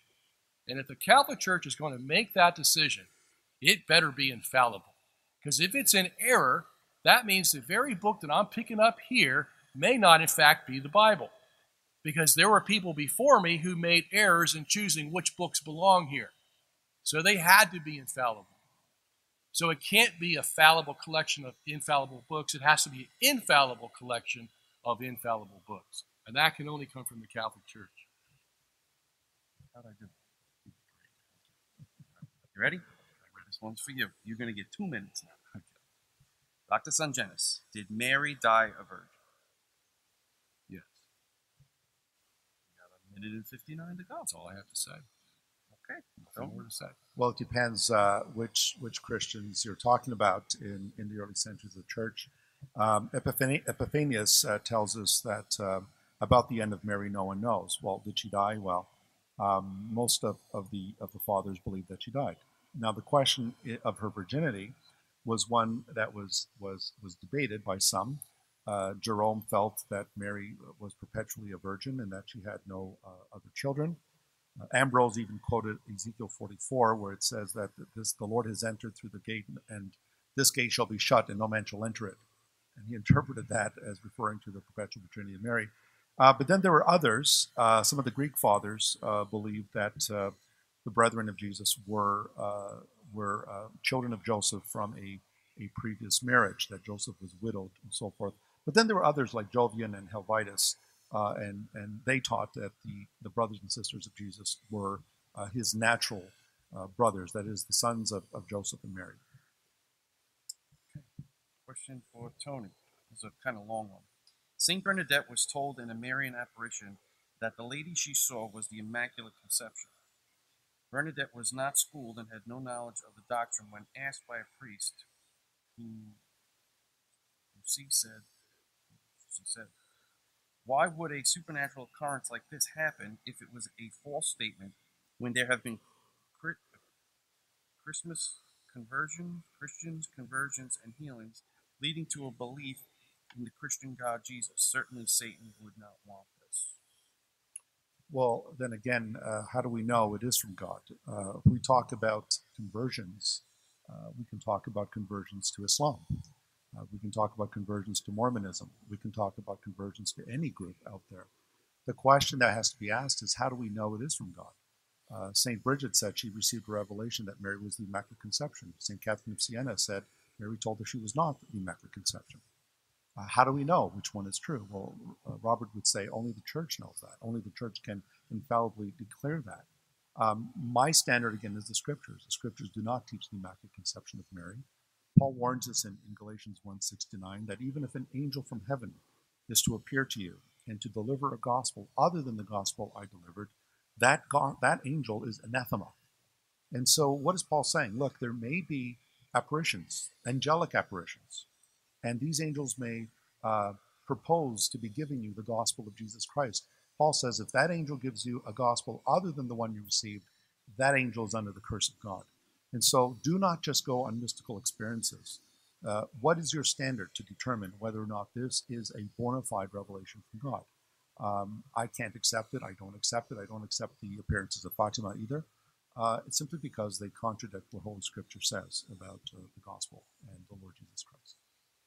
Okay, I get a minute. You do. Okay. So I would say this that um, I see why Tony is so confused because uh, when he reads the Bible, he thinks he reads in there that the Bible is the only authority, and yet he's not able to come up with a passage in the Bible that says that. I've asked him several times now for a passage that says that. So if Tony wants to uh, base all his answer on the Immaculate Conception on the fact that the Bible is the only source he can go to for that, well, then he's not reading the Bible correctly.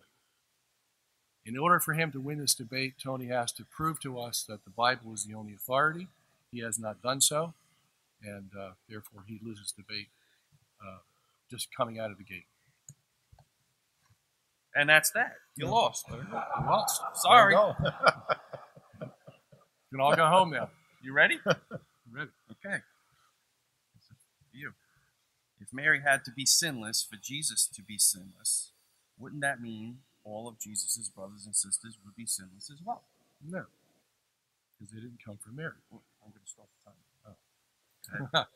no, uh, because they didn't come from Mary. Uh, the, the, the other belief in the Catholic Church, according to their interpretation of scriptures, is that the so called brothers and sisters of Jesus were not his uh, maternal uh, brothers and sisters. They, they were cousins of his.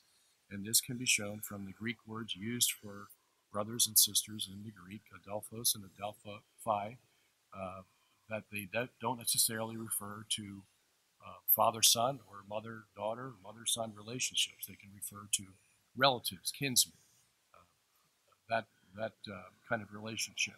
So, uh, as a matter of fact, none of these brothers or sisters of Jesus are called sons of Mary or uh, sons of Joseph. They were, they were just called the brothers and sisters of Jesus. Only Jesus is called the son of Mary. Okay? And I think that's very important to know. So, uh, to answer your question, I think, uh, what was the question? If Mary was to be had to be sinless for Jesus to be sinless, wouldn't that mean all of Jesus' Yeah, brothers and okay. sisters? would So we answered the question. The answer is no. Yeah, I would I would take the position that, that these were uh, natural uh, half uh, brothers and sisters of Jesus, and uh, I think any um, clear reading of the text without any uh, presuppositions uh, that of Mary's perpetual virginity or the Immaculate Conception, I think would lead you to that conclusion. There is a word in Greek for uh, for cousin, and it's uh, um, and uh, near kinsman, etc. But it uses the word adelphos and adelphi, uh, adelphi for his brothers and sisters. Now, uh, Matthew 125, uh, I think it's clear that Joseph uh, did not know her, which is a, an idiom for sexual relations. Joseph uh, did not know her until uh, she brought forth uh, her firstborn son, which was Christ. Uh, so I think it's pretty clear in the Jewish context um, that uh, Mary and Joseph were legally married, and, and in that relationship, it's a blessing of God to, to bring forth children and so forth. Um, so I think there's a lot of presuppositions at play here when it comes to the question of the family of Jesus. so I don't think there's anything wrong with them being his natural uh, brothers and sisters, half brothers. This one's for you, Dr. Costa. Uh, Jesus was conceived by the Holy Spirit in a sinless action. Mary was conceived by lustful fornication. Is this addressed by the dogma, dogma of Immaculate Conception? Um, well, I wouldn't say that Mary was conceived in a lustful fornication. Uh, Mary's parents, now we don't know who her parents were. Holy Scripture does not tell us that. The First time we hear about her parents is in the Protevangelium of James, an apocryphal text. It refers to her parents as Joachim and, and Anna. Um, but, but her parents um, would have been uh, legally married, and uh, obviously their, their union was blessed by God, as marriage is blessed by God. Uh, and so I wouldn't see her as, as, um, as this relationship, this conception taking place out of lust uh, or anything of that nature. Um, I believe Mary was conceived exactly the same way we were, through father and mother relations. Uh, where uh, Robert and I would disagree is I believe that she was conceived in sin, as Augustine believed and Ambrose believed, and, and uh, many of the fathers. Um, uh, but I don't think that union was a result of, of lust. I don't have a response. Dr. Sungenis. If Jesus came not to change any of God's law, he said to keep holy the Sabbath, which is the seventh day. Why did the Catholic Church change it? This isn't about Mary. I'll answer. No, No, I will answer. no. I'm the Please let me moderator. I made this decision. Robert, the Roman Catholic Church states the Whoever, blessed. whoever had that question, see me in the back. I will answer that for you. Robert, the Roman Catholic Church states the Blessed Virgin Mary in Mark 6 3. It is written, It is not is not this the carpenter, Jesus, the son of Mary, the brother of James and jo- Joseph and Judah and Simon? Are not his brothers and sisters here with us? Who is lying, the Roman Catholic Church or God's holy word? Neither. Okay. Um, you have to understand the Greek language. The Greek for uh, brother or relative is adelphos. Okay. We normally translate it as brother. But I can call you a brother. It doesn't mean that you're my sibling. Okay. That's the way they used to use these words back in those times. Uh, that he said was cousin, yeah. When, when there's a specific reason to mention the word cousin, as it is in, I think, First Timothy. It's the only time that word is used in the New Testament. Okay, because he's, he wants to point out that this man was the cousin of this man. All right, and by that time, the language had developed. Koine Greek had developed, where they did have a word for cousin. Okay, a lot of times in the Old Testament, New Testament, you just didn't have words for the for, for those kinds of relationships because it was all one clan. You know, they were just everybody was a brother and a sister, so to speak. Okay, so there, nobody's lying here. Okay, the fact is, if we say Mary is a perpetual virgin, that's because the Greek words allow us to do so. The, the Greek word adelphos does not, is not limited to a sibling. Okay, that's just a fact. Good. Words mean what they mean in context. And uh, adelphos, the first meaning, is brother. Now, what determines whether or not uh, you're referring to a, a brother, like a brother in the hood, is the context.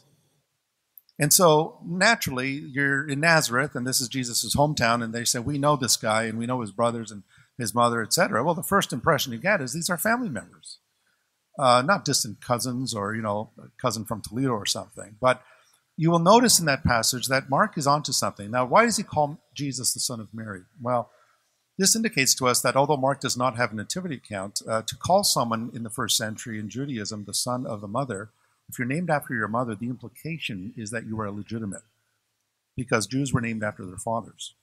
So, what, what Mark is trying to show is that the people are throwing a slur at him, that they know something about his, the question of his legitimacy. And so, um, Jewish uh, people are usually named after their dad. So, there's more to this than meets the eye. There's an insult actually being given to Jesus here. Okay, Dr. Costa. We understand that Christ was not typical in that he had a divine nature, but how could his human nature be free from original sin? Well, it's for this reason you'll notice the Bible calls Jesus the last Adam. He is the counterpart to the first man. And the first man, of course, when he was created, was originally sinless until he rebelled against God. And so Christ is the last Adam. He is the, the as Paul says, the first Adam was a type of him who was to come. And so, as the last Adam, he would be perfect, he would be sinless. And this would involve a direct act of God, the way Adam was directly created by God from the, from the dust of the earth. Jesus Christ, in terms of his humanity, his humanity was a direct creation of God, the Holy Spirit. And so, uh, because of that, uh, that operation of the Holy Spirit, uh, he was, again, holy. He was separate from sinners. But it's important to realize that he is the last Adam. The difference between him and the first Adam is the first Adam goofed up. The second Adam did not. He obeyed and brought righteousness to us and, and salvation.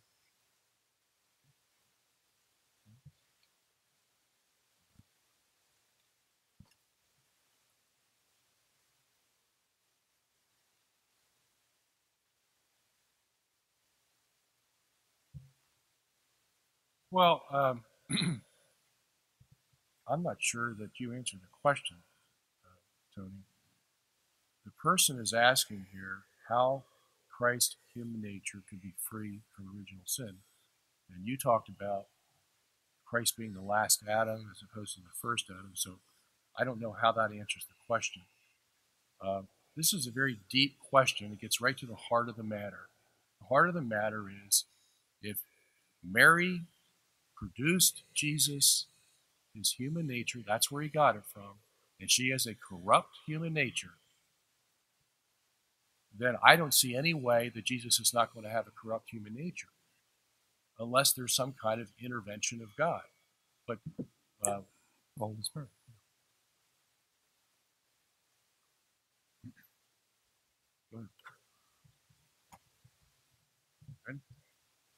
Dr. Sungenis. If the Immaculate Conception is such a critical theological point, absolutely essential for salvation, how can you defend the idea that countless Christians died in sin prior to 1854? Why wouldn't God make such a critical theological truth crystal clear? because holding to a dogma is not a criterion for salvation. Okay. Uh, there are certain doctrines or dogmas that are necessary for salvation, like believing in Jesus Christ as our Savior. Okay, if that is refused, that that's been known since the church started. So anyone who refused that doctrine from when from the church's inception would know that they're that they're not a believer and they're going to be judged. Okay, um, but when we get into these ideas about esoteric doctrines like the Immaculate Conception, or esoteric doctrines like the Trinity, or esoteric doctrines about the role of the Holy Spirit, because someone is not familiar with those doctrines does not make them unqualified for salvation. And as I said before, the only time that they would be required for salvation is when the church finally dogmatizes those doctrines and says, now, in this day, 1854, December 8th, is when you must believe this doctrine. Prior to that, no one was held responsible for not believing in the Immaculate Conception. And that's the way the church has always worked. You're only responsible if the doctrine is made and if you know the doctrine and that the church has put it out. Otherwise, you have an exception or an excuse for that doctrine. It doesn't mean that you're going to be saved. It just means for that particular doctrine, this will not be held accountable against you. You know, the, the papal bull Ineffabilis Deus makes it makes it obviously clear at the end that that whoever does not agree with this is has has removed himself from the church, from the unity of the church. But again, I, I cannot help but but notice the you know we hear about this 1854 and now you're, you're going to be guilty of this. We, you know when I made the comparison with, with Mormonism, uh, Joseph Smith did say that it was new. He said it was the restoration of the gospel, that what he had received was in fact the restoration of the gospel and that and that it's incumbent on all people to recognize Joseph Smith as a prophet of God and Brigham Young and all the rest, and to accept the Book of Mormon.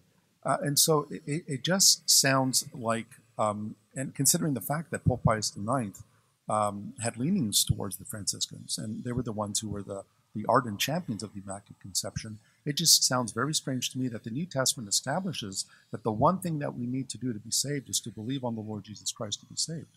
Christ is enough, ladies and gentlemen. We don't need anyone else. Christ is sufficient. Christ is enough for our salvation. Dr. Costa, you mentioned the Catholic position on Mary was similar to that of Pelagius. How so? Pelagius believed people could sin. Uh, yes, what I meant was uh, yes, Pelagius believed that you could sin if you so chose. Uh, he did not believe that you were born with sin. He did not believe in original sin. And this was the reason for Augustine's uh, opposition to Pelagius and writing against him. Uh, his belief was that we are, we are all conceived uh, pure, we're all conceived sinless, and it is our choices in life to rebel that makes us sinners. And so, uh, from Pelagius's point of view, um, the reason why uh, we, we, uh, we sin, the reason why we're sinners is because we sin. And Augustine, of course, refused that. He, he refused to accept that because it violated the scriptural teaching that we all are in Adam and that we all inherit this, uh, this original sin from Adam. My point was that Pelagius actually uh, would have been an ardent supporter of the Immaculate Conception. He would absolutely agree that Mary was conceived without the stain of original sin. But what Pelagius would do is he would apply that to everyone. And so this is what uh, what uh, Augustine said when he said that when it comes to Mary, he said this is the one place where he's going to reserve judgment on sin. But what he does clearly say is that Mary sinned. Uh, excuse me, Mary's uh, purity was postpartum. It was it was not postpartum. It was post conception. After her conception, she was sanctified later in the womb. But Pelagius did have, as some scholars have noted, he did uh, uh, outdo Augustine on this one. He actually affirmed uh, what would later be called the Immaculate Conception.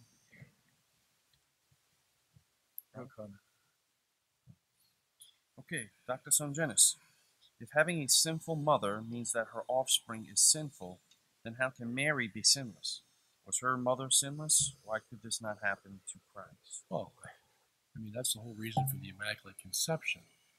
Because uh, St. Anne, who was the mother of Mary, would naturally transmit her uh, corrupted human nature to Mary, was the very reason that God had to intervene right at the conception of Mary to prohibit the transmission of St. Anne's corrupt human nature to Mary, so that Mary could not transmit the corrupt human nature to Christ. It's the whole reason for the Immaculate Conception. See, this is where St. Bernard of Clairvaux, uh, this is the very issue he was addressing. He said, well, uh, as the Franciscans argued, if Mary was immaculately conceived, um, then why stop there? Why couldn't St. Anne be immaculately conceived? Why couldn't St. Anne's mother be immaculately conceived? And, and, and let's go into a regression of immaculate conceptions. That was his whole point. Um, so I, I, still think that the, the biblical data, this is why uh, Robert has to appeal to tradition because he knows it's not in the Bible. He has to appeal to another plank, uh, that of, of, the authority of the church to establish uh, this doctrine that, uh, that is not found in Holy Scripture. Uh, to Mr. Acosta, the apparitions from Mary have been deemed demonic by many Protestants.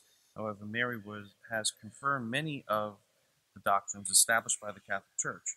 If so much of what she says turns people to a belief in her son Jesus as a Savior, how can that be so? Even the miracle of the sun was witnessed by thousands, and many were converted. Okay. I think we, we have to pay heed to, to our Lord's warning that just because there are signs, it does not logically follow that this is from God. Remember, Jesus warned in Matthew 7 false prophets would be able to do miracles in his name, they'd be able to prophesy in his name, they would be able to do all kinds of things in his name. And Jesus would turn to these people and say, Depart from me, you cursed ones. I've never, I, I never knew you. Now, in, in, the case of Fatima, which, which I have followed coming from a Portuguese extraction, uh, the Portuguese take pride in the fact that Fatima uh, is, is a location in Portugal. Many Roman Catholics believe Mary appeared there. Well, when I, when I started looking into the, the apparitions and, and into what was being said, um, one of the things that Mary allegedly said was that, that um, she said that God has determined that he will save the world through my Immaculate Heart. Now, if you put that alongside of Holy Scripture, what does Scripture say is God's means by which he will save the world? Well, it's not definitely not through the Immaculate Heart of Mary that he's going to save the world. God so loved the world that he gave his one and only Son, that whosoever believes in him should not perish but have everlasting life. So, what I do is I look at these uh, so called apparitions and I look at what is the message, what is the content of those apparitions? Do they accord with Holy Scripture? Um, God did not establish that he's going to save the world by Mary's Immaculate Heart. That is not the gospel of Jesus Christ. The gospel of Jesus Christ is the death, burial, and resurrection of Christ, him dying in your place to secure your salvation. And if you call on the name of the Lord, you shall be saved. And so these two things cannot possibly be true.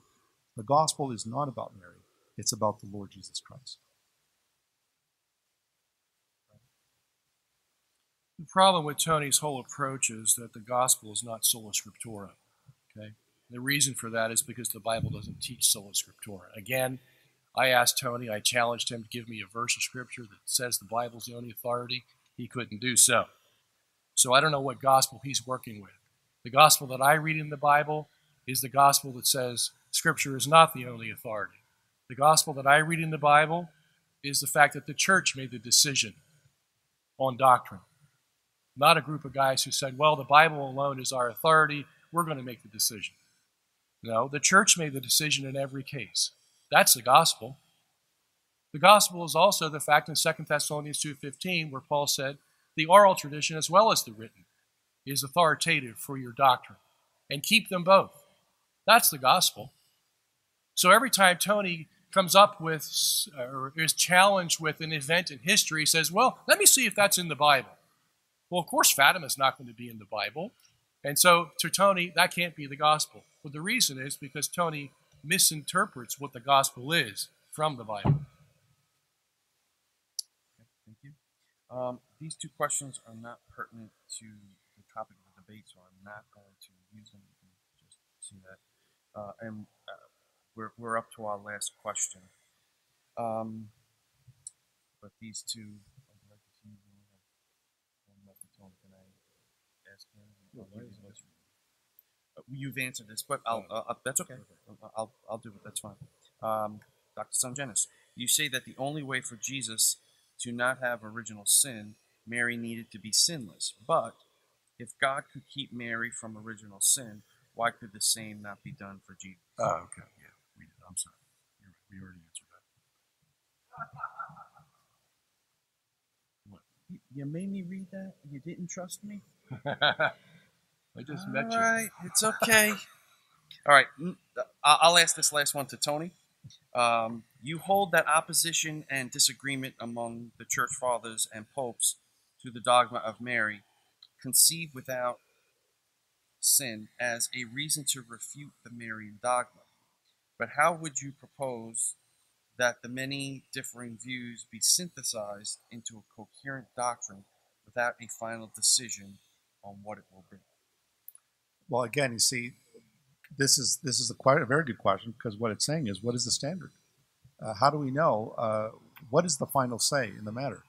And and I know Rob, Robert's been bringing up the whole issue of I haven't proven the Bible is the authority, but I think that I have demonstrated that by showing that um, the only thing that the Scriptures calls the theopneustos, God breathed, is the Scriptures. If we follow the example of the Lord Jesus Christ, we examine His life. Jesus never appealed to tradition.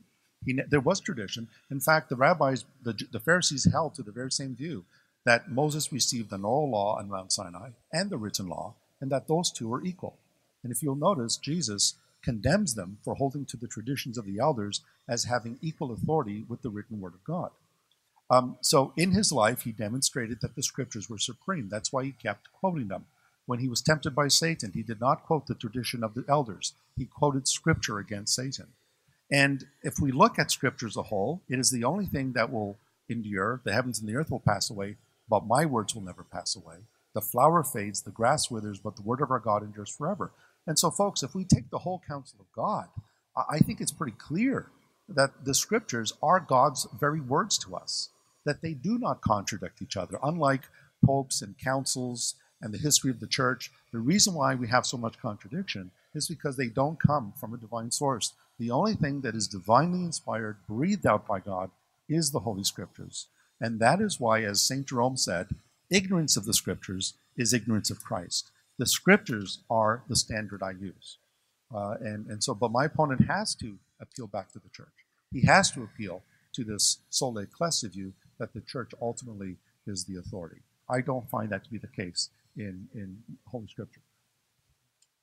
All right, the problem here is that um, the Bible does not say just the written word is from God. It says the oral word is from God. In 1 Thessalonians chapter 2, verse 13, St. Paul says this, For this cause also thank we God without ceasing, because when you received the word of God, which you heard from us, you received it not as the word of men, but as it is in truth the word of God, which effectually worketh in you that you may believe.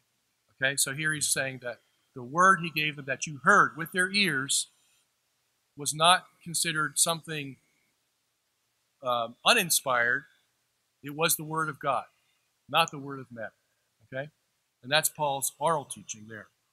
Okay, so here's the, the, the basic problem. Tony doesn't know what the scripture says. If he understood that scripture and abided by it, he would not believe in sola scriptura. And just because something is Theopneustos doesn't make any difference whatsoever. All it's saying is it has high quality because it's God breathed. Where does it say it's the only authority? Tony has not given us that tonight. And with that, ladies and gentlemen, that concludes our question and answer session. Again, let's give them both a round of applause.